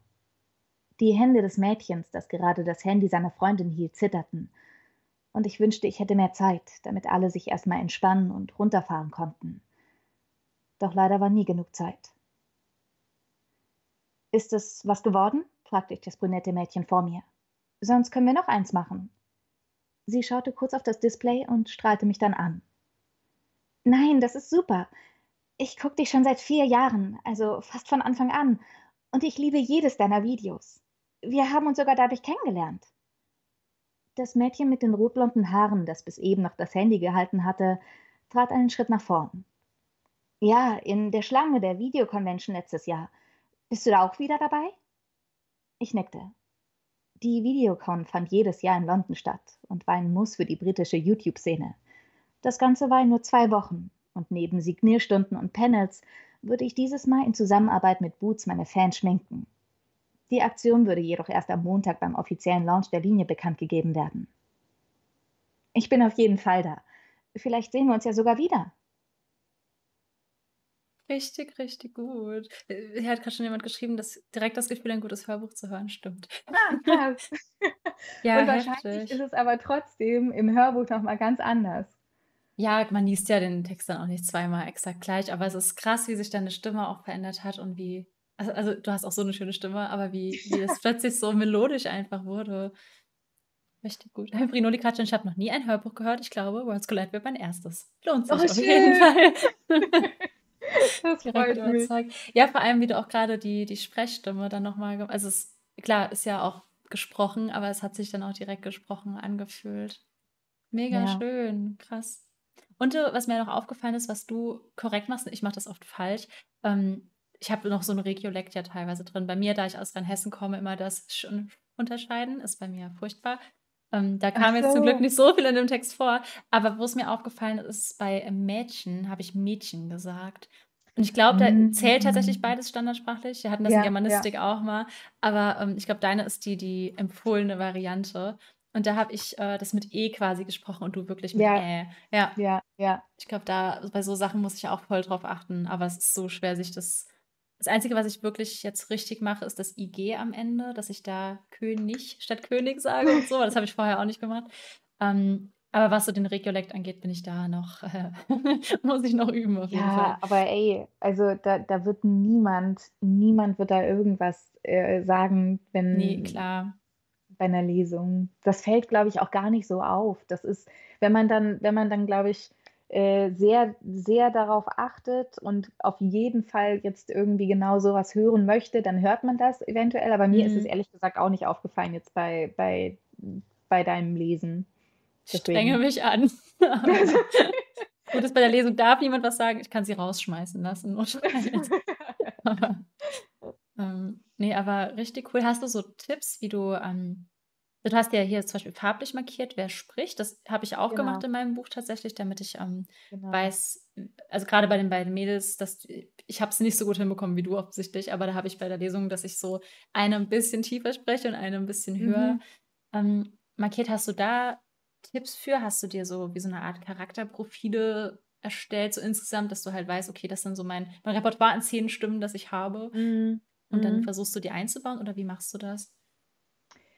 Ähm, ist immer unterschiedlich. Also, manchmal gibt's Bücher, die da weiß ich einfach aufgrund dessen, weil ich's markiert habe, dass mir beispielsweise so und so viele Frauen und so und so viele Männer begegnen werden. Und, ähm, ich versuche die natürlich irgendwie, äh, soweit das möglich ist, in äh, voneinander abzugrenzen, aber meine Stimme ist dann halt doch auch begrenzt und, Mhm. ähm, dementsprechend ist das manchmal 'n bisschen schwierig. Aber und vor allem, das kommt noch dazu, ähm, ich bin nicht so 'n Fan von bei uns nennt man das, äh, Chargen. Also, wenn „Ich hätte jetzt die eine aber auch die ganze Zeit so sprechen lassen können“, weißt du? Dass es so überspitzt ist Sehr irgendwie? Mhm. überspitzt und sehr klischeehaft und so 'n bisschen comic-mäßig. Mhm. Ähm, und davon bin ich nicht so 'n Fan. Mhm. Und, äh, dementsprechend limitiere ich mich da, glaube ich, auch so 'n bisschen selber, weil ich dann einfach sage: „Ne, ich möchte, dass die dass diese Figuren oder diese Menschen, die mir begegnen, immer noch wie Menschen in der realen Welt klingen“, Mhm. so. Wenn das jetzt 'n Fantasybuch wäre, wäre das noch mal was anderes. Ähm, und ich habe so ich kann noch nicht mal sagen, wie viele Stimmen, aber ich habe ich habe 'n paar, die, äh, sich vor allem erst mal durch die durch die, ähm, Tonhöhe, äh, abgrenzen voneinander. Also, ich mache auch gerne, ähm, tiefere Frauenstimmen, weil die gibt's nämlich nicht so häufig. Äh, vor allem, wenn man mal bei männlichen Kollegen, äh, guckt, äh, klingen Frauen gerne mal irgendwie so und so 'n bisschen einfältig. Und man denkt sich so: Mhm. „Was?“ Äh, genau, das versuche ich dann, äh, dadurch, äh, auszugleichen, indem ich auch gerne mal tiefere Frauenstimmen, mache. Ich, versuche viel auch über Dynamik, also, ist die so 'n bisschen Casey zum Beispiel hatte ich als, ähm, doch eher, ähm, ja, frech und nach vorne so, Mhm. ähm, wahrgenommen und, ähm, versuche das dann einfach äh, schon in ihrer Art und Weise zu sprechen reinzulegen. Ähm, Ja, ich glaube, es ist so eine, so, eine, so eine Mischung aus, wie eigentlich alles, so eine Mischung aus Technik und wie fühlt sich die Figur an, wenn ich sie, wenn sie spricht. Und ähm, wenn sie, wenn sie schüchtern ist, wie beispielsweise, jetzt habe ich ihr, nee, wie hieß sie? Nee, sie hieß nicht, hieß sie Nora? Nee. Wen, wen meinst du denn? Die, ähm, die mit da verzettelt ist in diese ganze Geschichte. Ähm, Ah, Natalie meinst du? Natalie, Ja. N.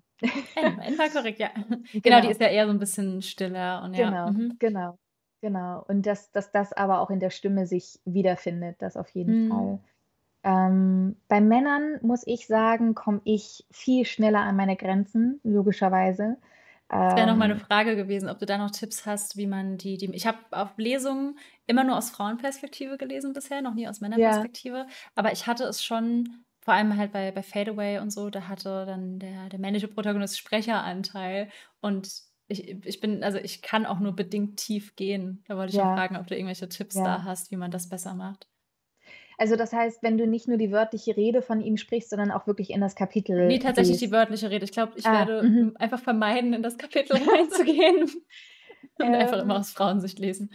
ja, das sind für mich tatsächlich auch noch mal 2 unterschiedliche Sachen. Also, ich hatte jetzt auch ein Buch, ähm, wo ich 2 Männer und eine Frau gelesen habe, also Perspektivwechsel. Und äh, ich dachte so, wer hat sich das denn ausgedacht?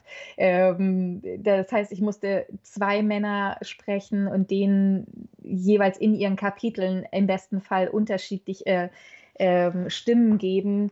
Aber da bin ich auch vorsichtig, weil ich denke, auch da nicht karikieren, nicht irgendwie, ein Mann spricht jetzt die ganze Zeit so. Das ähm, ist ja irgendwie, ich meine, es gibt auch vielfältige Männerstimmen. Es gibt ähm, vielfältige Frauenstimmen. Es gibt ganz viel Vielfältigkeit. Äh, und das ist gut so.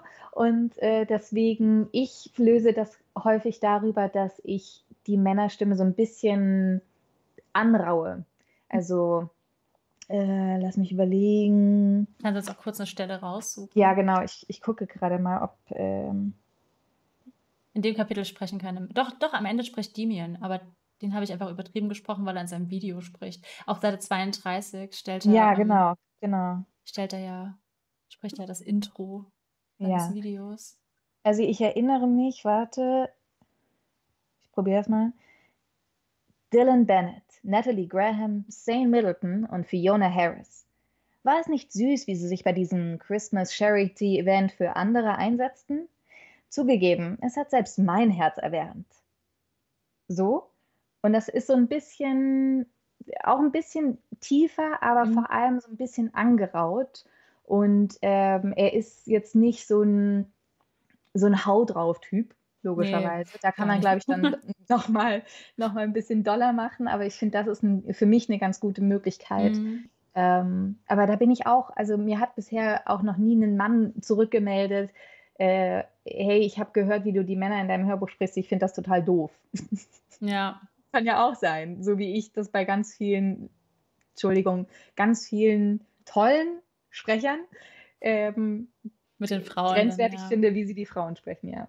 Mhm. Ja. Ne, aber bin ich tatsächlich bei dir. Aber es ist äh, nicht nur bei Männern, auch bei Frauen manchmal, wenn sie ach, wenn Figuren ein bisschen stereotyp angelegt sind und dann gibt es irgendwie, keine Ahnung, so die was ist denn M&A? So 'n das Klischee M&A wäre betreibt irgendwie 'n Café, ist 'n Ja. bisschen kräftiger und ist dann immer so quirlig und am Rumwuseln und so und dann kriegen die auch immer so 'ne Stimme, die dieses Stereotyp noch unterstreicht und Ja, so. Und das, ja. ähm ich verstehe, woher das kommt, aber das verstärkt ja diese ganzen Klischees irgendwie so 'n Voll, bisschen und das ist ja voll. ähnlich bei den Frauenstimmen Ja. auch Ich so. merke auch manchmal, oh, jetzt bin ich da gerade reingerutscht. Ja. Ähm, und und versuche da aber aktiv dagegen zu gehen, Mhm. weil ich das ja, also gerade gerade wir Frauen, ähm, oder wir Sprecherinnen, wir können da 'ne Vielfältigkeit, 'ne Vielschichtigkeit aufzeigen, ähm, bei den Figuren, die wir sprechen dürfen. Und ich finde, das sollten wir auch machen und eben Mhm. nicht,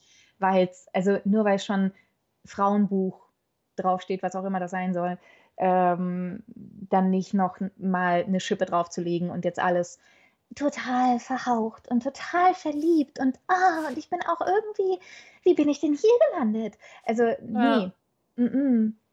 Also, man gibt der Frau Stärke an die Hand, weil das hat sie und das, ähm, darf man auch hören und, ähm, genau so bei allen anderen äh, Figuren. Also selbst eine ähm, hier die, die Anti-Protagonistin, die halt irgendwie dann da auftaucht und tendenziell dann wahrscheinlich so eine, ja, höhere, zickige, mm. keine Ahnung was, Stereotypstimme kriegt, ähm, kann man ja trotzdem gucken, dass man die nochmal ein bisschen vielschichtiger darstellt.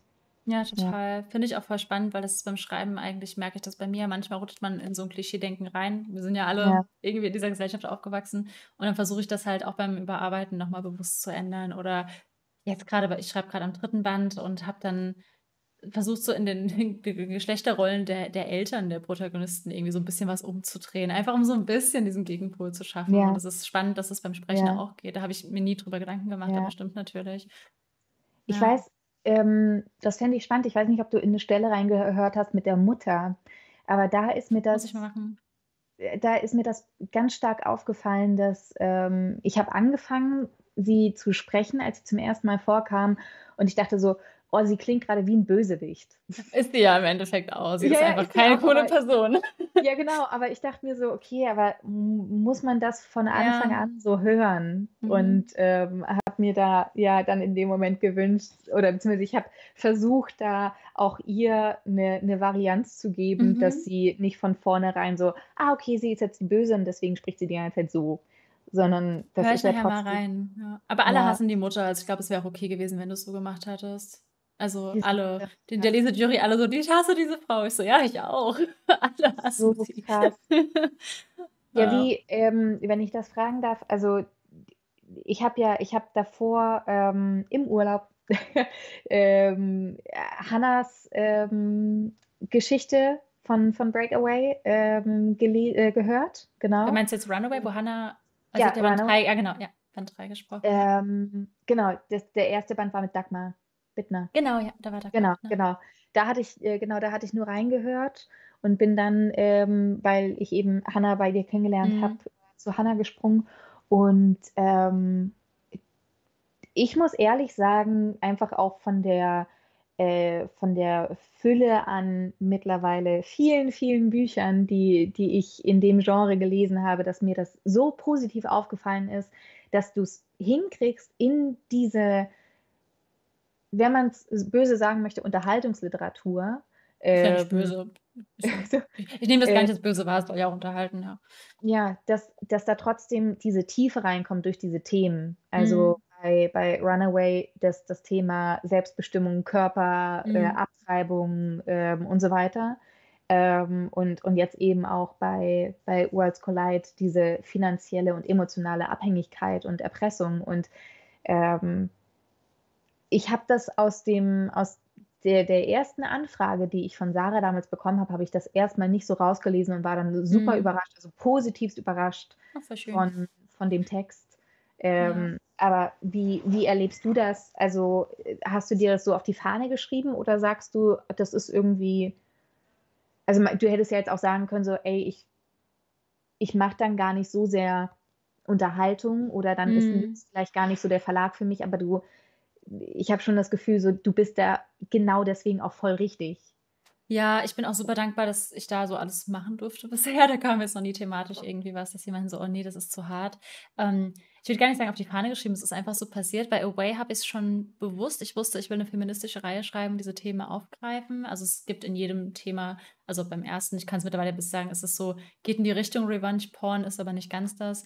Beim zweiten ist es ja sexueller Missbrauch und beim ja. dritten dann eben die Abschreibung und Selbstbestimmung vom Körper. Und dann war ich aber bei Worlds eher so, dass ich so dachte, so, ich habe richtig Schiss, dass es zu seicht wird. Aber das ist, dass als es schon fertig mm. war. Ich habe das Thema nicht deshalb eingebracht, so das mit der Mutter und so, das stand schon fest. Aber ich hatte trotzdem, weil sie halt Beauty macht und es ist jetzt nicht mehr so Feminismus im Vordergrund, hatte ich irgendwie tatsächlich eher Angst, dass es, ähm, ich will nicht sagen zu Unterhaltungssituation, halt so zu seicht wird und dass Themen ein bisschen vielleicht zu oberflächlich behandelt werden. Ich glaube, im Endeffekt ist es nicht zwingend so. Ähm, aber Nee, war, war nicht bewusst, ist einfach irgendwie so passiert, keine Ahnung. Ich weiß auch gar mhm. nicht warum, weil ich habe, wie gesagt, bin, was das angeht, super privilegiert aufgewachsen. Ich habe eine super tolle Mama. Habe jetzt auch nochmal so die Danksagung geschrieben. Meine Mutter auch so, danke für die Danksagung, dass niemand denkt, dass sie irgendwie so furchtbar ist, ist sie überhaupt nicht. Ja. Ähm, ich glaube, immer irgendwie Sachen, die einen in gewisser Weise tangieren, sind jetzt Sachen, die Freundinnen passiert sind oder so oder die man mitbekommen hat. Oder bei mir, dafür habe ich mit einem anderen Teil meiner Familie zum Beispiel gar keinen Kontakt. Und dieser Kontaktabbruch hat sich, glaube ich, so ein bisschen ähm, ja, so in, in Band 1 übertragen, weil das etwas war, was mich sehr beschäftigt hat vor ein paar Jahren. Ich glaube, man baut immer irgendwie Sachen ein. Mhm. Keine Ahnung. Ja. Ich, ich glaube auch, weil ich sowas gern lese. Ich lese ja. manchmal auch so gern so diese Chicklet, gerade so im Urlaub. Ähm, ja. Vielleicht schreibe ich irgendwann auch mal sowas, aber ich lese es auch einfach gern. Ja. Ja. Ist dir das schon mal passiert, dass Leute gesagt haben, ich habe mit dieser, ich habe damit angefangen und habe hab mich eigentlich auf Chicklet eingestellt und dann auf einmal war das und ich bin völlig überfordert oder finde das blöd?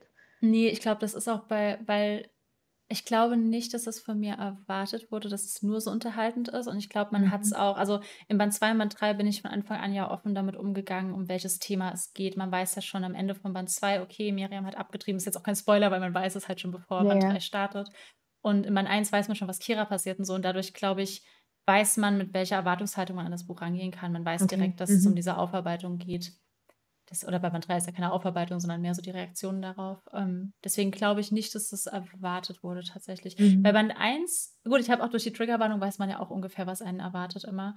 Ähm, ich weiß jetzt nicht wie bei Worlds Collide, wie es da ist, weil da ist es ja schon so Influencer, man denkt zuerst, oh, sie macht so ihre Beauty-Videos, mhm. okay. Aber ja, deswegen mag ich auch, was du eben gesagt hast, dass es nicht so diese Klischeekiste ist und dieses. Ähm, ja, du hast einen wunderschönen Satz gesagt, wo ich eben noch dachte, oh, voll zitatwürdig, aber ich habe ihn wieder vergessen. Da ging es irgendwie um ähm, Frauen Stärke an die Hand geben oder so. Und ja, das fand ich ja. total schön, weil ich habe gehofft, dass ich das mit Fiona auch beim Schreiben schaffe, dass sie eben, sie ist super naiv, teilweise ist sie, aber sie ist trotzdem nicht schwach und äh, ja, voll schön, dass voll. du das dann mit der Stimme noch so weiter implementieren konntest irgendwie. Ja. Das ist voll schön. Ja, meine, meine liebsten Szenen mit Fiona waren tatsächlich auch die, wo sie, wo sie so richtig ähm, ja, auf die Kacke auf, haut. Auf den Tisch haut, ja. ja. Auf den Tisch Habe ich ja, so genau. gerne aufgeschrieben. Es war so richtig so, endlich. Also ich will nicht spoilern, aber das, ich, ich mag ihr Ende. Ja. Und ja, ja. ja. auch bei Band 2, also das kennst du jetzt ja noch nicht, das kennt ihr alle noch nicht, aber da mag ich auch das Ende. Und da war ich am Ende so, es wäre auch okay, wenn sie jetzt nicht zusammenkommen. Weil ich einfach mhm. so, ich bin sie einfach, sie, sie, würden, sie würden schon klarkommen im Leben. So. Ich meine, ja. Spoiler, es, ist das sie eine, zusammen. Ist das eine Option, dann zu sagen, hey, nee. Also ich, ich freue mich ja mittlerweile über fast jeden Film, in dem sich dann ähm, Männlein, Weiblein dann nicht küssen, sozusagen. Mhm. Das ist ja schon, oh, geht das?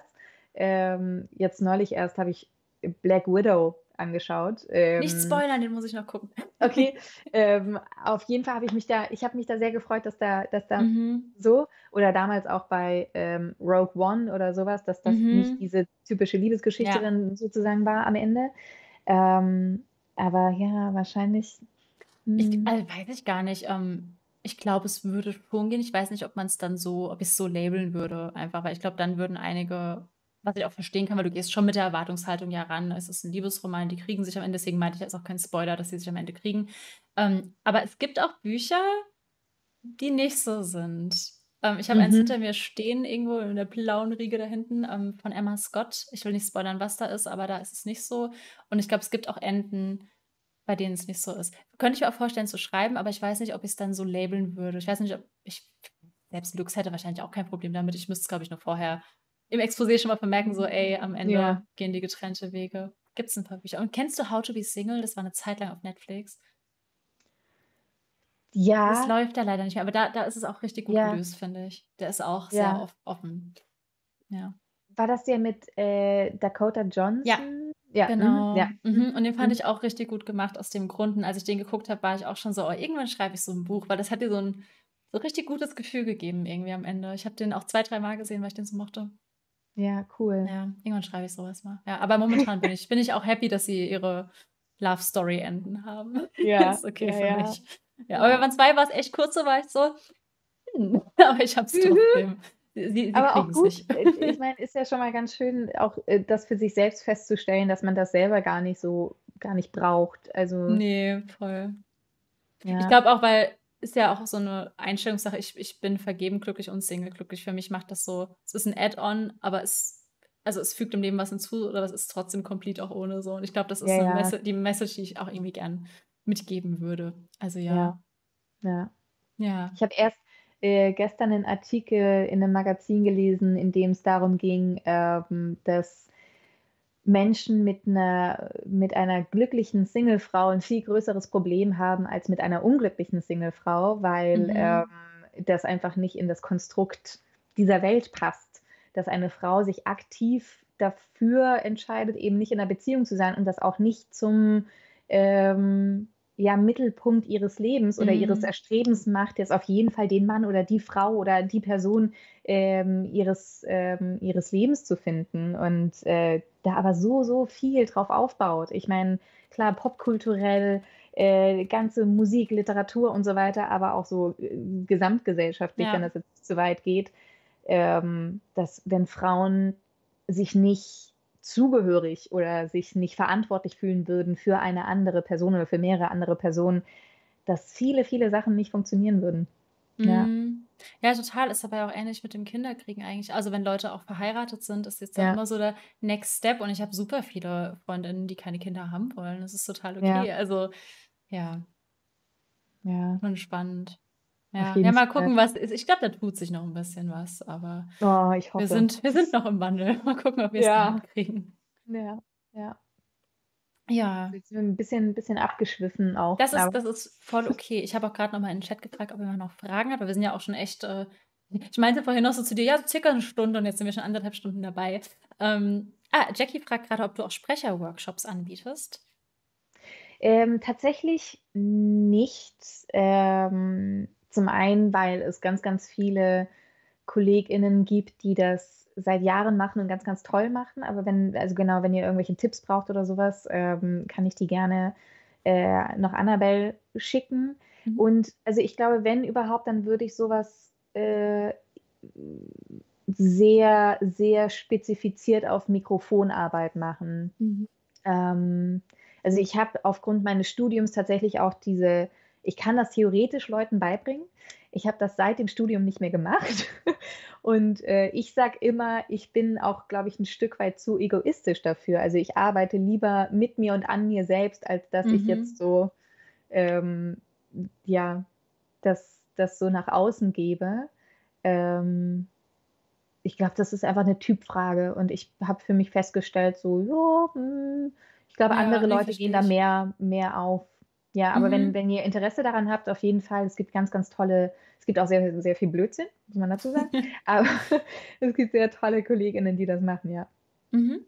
Kannst du ja noch mal Bescheid sagen, Jackie. Wir hatten Mhm. letztes Mal auch, als wir den Hörspielsprecher da hatten, hat er auch so 'ne Website empfohlen, so 'n Forum, wo er sich so 'n bisschen auch was, äh, angeeignet hatte. Ähm, genau, alle sagen hier so: „War sehr spannend, kann nie genug davon bekommen, wenn SprecherInnen von ihrer Arbeit erzählen.“ Aber eine Frage kam noch rein. Mhm. Ähm, was wären Projekte fernab von Hörbüchern, die du gern mal angehen würdest? Also, jetzt hast du ja schon gemeint, dein Videospiel hast du ja jetzt.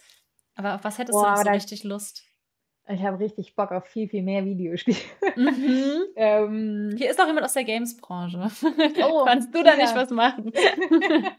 Ja, äh, doch, darauf habe ich auf jeden Fall Bock, weil das so so 'ne ganz andere Arbeit ist und man sich so richtig also, das, was ich vorhin meinte mit, äh, Chargen, die ich in Hörbüchern tendenziell schwierig finde, wenn's nicht zum Genre passt, kannst du da halt alles rauspacken und du bist Mhm. halt einfach so in 'ner ganz, ganz anderen Energie. Und wenn 'nen ich ich würde immer sagen, 'n Hörbuch ist 'n Marathon und ich habe, ähm, im letzten Jahr ich bin sehr viele Marathons Marathoni, weiß ich nicht, ähm, bin ich gerannt, ähm, und habe viele Hörbücher gemacht und jetzt grade lechze ich so nach so kurzen so Mhm. Snacks, so kleine Sprints, die, äh um mal in dieser Analogie zu bleiben. Äh, genau, also, sehr viele kleinere Sachen, da habe ich Bock drauf. Ich habe Bock, ähm, mehr Werbung zu machen tatsächlich, weil das ähnlich überdreht ist und, hm, ich glaube so, das Thema ist wirklich grade weniger Sachen, Die die so so verkopft mega sind, genau, und dann lasse ich dich mein 16-Stunden-Hörbuch ein das wäre dann der Super-Run statt Marathon. Es mir Also, das wird's auch das wird's auch geben und ich will das auch nicht missen, weil ich diese Arbeit total liebe. Ja. Ähm, ich glaube, letztes Jahr war einfach wirklich 'n krasses Hörbuchjahr. Ich Mhm. weiß nicht, wie das passiert ist und ich bin super dankbar dafür, ähm, dass ich so viele Sachen machen durfte. Ähm, grade mit mit Lüx und und Lübbe. Ähm, ich habe jetzt dieses Jahr aber auf jeden Fall auch Bock, Bisschen Weil natürlich auch Abwechslung. genau, 'n bisschen bisschen Ja. Abwechslung und ich glaube auch so, wie ich dieses Jahr gestalte mit irgendwie mal in Urlaub fahren wieder und so, ähm äh, ist es ist es ganz gut, mal zu sagen: „Ah, okay, hier kommt irgendwie was Kürzeres und da ist was Ja. Kürzeres.“ Nicht direkt so 'n Block. Ja. Okay, also auf jeden Fall Videospiele und Werbung ist notiert, falls jemand das schaut und, Genau. direkt was hätte. Ne, aber ich stelle mir auch Videospiele cool vor. Auch du erreichst Leute noch mal 'n bisschen anders als bei Hörbüchern. Also, ich ich zocke ja selbst total gern, deswegen, ähm, finde ich es immer toll, wenn auch was toll vertont ist. Ich hatte auch von ich habe Tell Me Why gespielt, auch on Stream und habe mir Ja. direkt die Sprecher notiert im Deutschen, weil ich spiele sonst immer auf Englisch und habe es auf Deutsch gespielt und habe nur vergessen Ah. umzuschalten, war aber so hooked von dem männlichen Sprecher, dass ich direkt wusste: „Okay, ich ich muss es auf Deutsch weiterspielen“, weil mich diese Stimme so fasziniert hat. Und das Und hatte ich vorher noch du nie. Weißt du, wer das ist Ich und ob der auch andere Sachen macht? Mittlerweile ja, macht der der hat auch, äh, jetzt mittlerweile ich glaube sogar für Lux Hörbuch gesprochen, ähm, weil er ist 'n Transmann und hat, ähm, ich glaube, Felix Ever After gesprochen, weil es Buch auch Ah, ja. ich gucke mal Da habe ich auch reingehört. Ja, richtig, ja. Mhm. Ich gucke mal ganz kurz, ich weiß den ich gleich habe ich den Namen bestimmt. Ähm, Lukas von Horbaczewski, Mhm. glaube ich. Kann das Ja, sein? ja. Ah, Und ich glaube auch, das war sein sein sein 1. äh, Hörbuch, Mhm. was er ja, genau. Genau, ja, das 1. Hörbuch, weil damals, als ich so überlegt hatte, hier sind noch hm, ja, Hörbücher nicht so, aber logischerweise, ich glaube, aufgrund der, ähm, Trans-Thematik, weil's ja dann auch cool war, 'nen 'n Transmann als Sprecher zu haben, Voll gut, dass sie das hat gemacht es haben. da achtet Voll, Lux aber gut. eh, finde ich, immer sehr drauf, dass es irgendwie, ähm, 'n bisschen auch passt, tatsächlich. Ja. Ich Ja. hatte neulich auch 'n Projekt, ähm oder was heißt neulich, ist jetzt auch schon 'n Jahr her, ähm, die äh, die die Bücher von von, äh, Sophie Bichon beispielsweise, die ja ganz stark auch Mhm. in der in der queeren, ähm, Ecke zu verorten sind in der literarischen, ähm, wo ich immer sage so: „Hol die da raus, Liebe, Liebe, Liebe“, so. Ja. Ähm, aber da war ich kurz mal so ich glaube, ich werde als, ähm, cis-hetero-Frau, äh, gelesen, ähm, was nicht stimmt so, aber Mhm.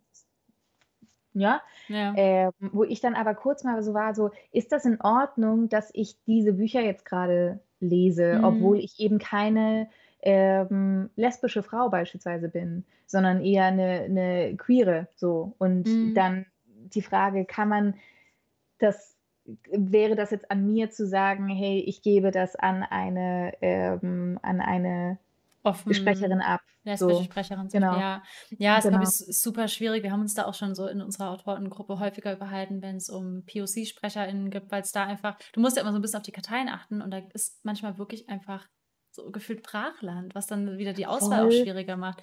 Ja. Deswegen freut's mich so, dass dann dass dann Lukas anscheinend auch entschieden hat, dass er dieses Hörbuch dann spricht, weil es wäre super schade gewesen, wenn das halt dann nicht irgendwie auch queer gewesen wäre. Also, ich Ja, glaube, dass ja. da ja, aber ich glaube, mit dem Thema könnten wir auch noch mal so Stunden füllen, weil da haben wir auch schon so super viel Total. drüber diskutiert, wie man's da auch möglichst, ähm, ja, divers irgendwie gestaltet, ja. Ja, beim Schreiben ja. aber witzigerweise 'ne ähnliche Thematik. Da ist es auch ich hatte, ähm, grade in Away auch sehr, sehr viele nicht straighte, ähm, Charaktere und dann ist es ähnlich äh, da kommt gleich noch 'ne Frage rein. Ähm lese ich gleich vor. Ähm, da ist es dann manchmal schwierig, irgendwie zu entscheiden, so dürfte ich jetzt aus ihrer Perspektive was schreiben, weil wenn du Band 3 das kennst du vielleicht ja Phuong noch und sie ist, ähm, Vietnamesin und bisexuell. Deswegen habe ich mich dann dagegen Mhm. entschieden aus ihrer Perspektive, weil wir hatten überlegt, noch 'ne noch 'ne Sequel zu machen. Ähm, aber da hätte ich mich auch nicht wohl gefühlt, aus ihrer Sicht so zu schreiben, als Ja. offensichtlich nicht vietnamesische weiße Person. Ja. Ähm, ja. Ja, grundsätzlich ja die Frage, dass dass also, wir hatten uns vorhin drüber unterhalten, dass ähm, dass mein Freund auch Autor ist und, ähm, Mhm. dass da auch die Frage dann irgendwann in seinem Buch kam, ähm: „Wenn ich jetzt bei dieser Person, bei der ich 'ne sehr konkrete Vorstellung habe, dass sie eine POC ist wenn ich Mhm. das jetzt dort benenne, dann ist vollkommen klar, dass alle anderen im Buch weiß sind.“ Ja. Und, ähm, das äh, das ist ja auch also, du nimmst also, auf der einen Seite willst du den Rahmen und und irgendwie die Bühne schaffen und sagen: „Hey“ und und dann halt aber auch nicht irgendwie plump so, keine Ahnung, so, sondern Hat wirklich auch braune Haut, sondern halt ja, ja, genau, ja. sondern wirklich auch okay, es wird halt in so 'nem Nebensatz, wenn überhaupt, wird das kurz angedeutet: „Ah, Mhm. okay, ich hm“ ähm aber ja, du du machst dann halt im Prinzip auch klar, über alle anderen über Das die dir aller anderen wird nicht gesprochen und Ja, und dann hast du wieder 'ne Norm geschaffen, was du ja Ja. eigentlich nicht nicht willst in dem Moment. Das finde ich auch super spannend beim Schreiben. Ähm, ich versuche also, bei Away habe ich viel versucht, über die Nachnamen so zu klären, dass man weiß, okay, der eine ist Mexikaner, sie ist Türkin, sie ist offensichtlich Mhm. Vietnamesin und so. Da habe ich's gar nicht so mit den Hautfarben beschrieben. Bei World School Light fand ich's schwieriger, weil einfach äh, es spielt in London. Jeder zweite Mhm. Mensch, den du triffst, ist nicht aus London und so. Und Ja. da, ähm, habe ich's gemacht, habe mich da aber auch tatsächlich schwer mit getan, weil dann habe ich versucht, nicht so zu schreiben, hat braune Haut, hat weiße Haut, sondern so 'n bisschen so, wenn die Wangen rot werden, sieht man das dann entgegen der Blässe und es ist so voll der Mhm. Struggle beim Schreiben manchmal, aber einfach, weil du ja auch Ja. nicht willst, dass alle sich alle weiß vorstellen und so. Mhm. Ja. Und damit da so 'n Umdenken irgendwie stattfindet, das ist ja ist voll die voll die Jonglierleistung, aber auch 'ne Ja. nötige, finde ich. Ich finde auch nicht, dass man aus Bequemlichkeit sagen sollte: „Dann lasse ich's einfach weg“, weil das ist irgendwie meiner Meinung nach nicht die richtige Lösung, deswegen Ja.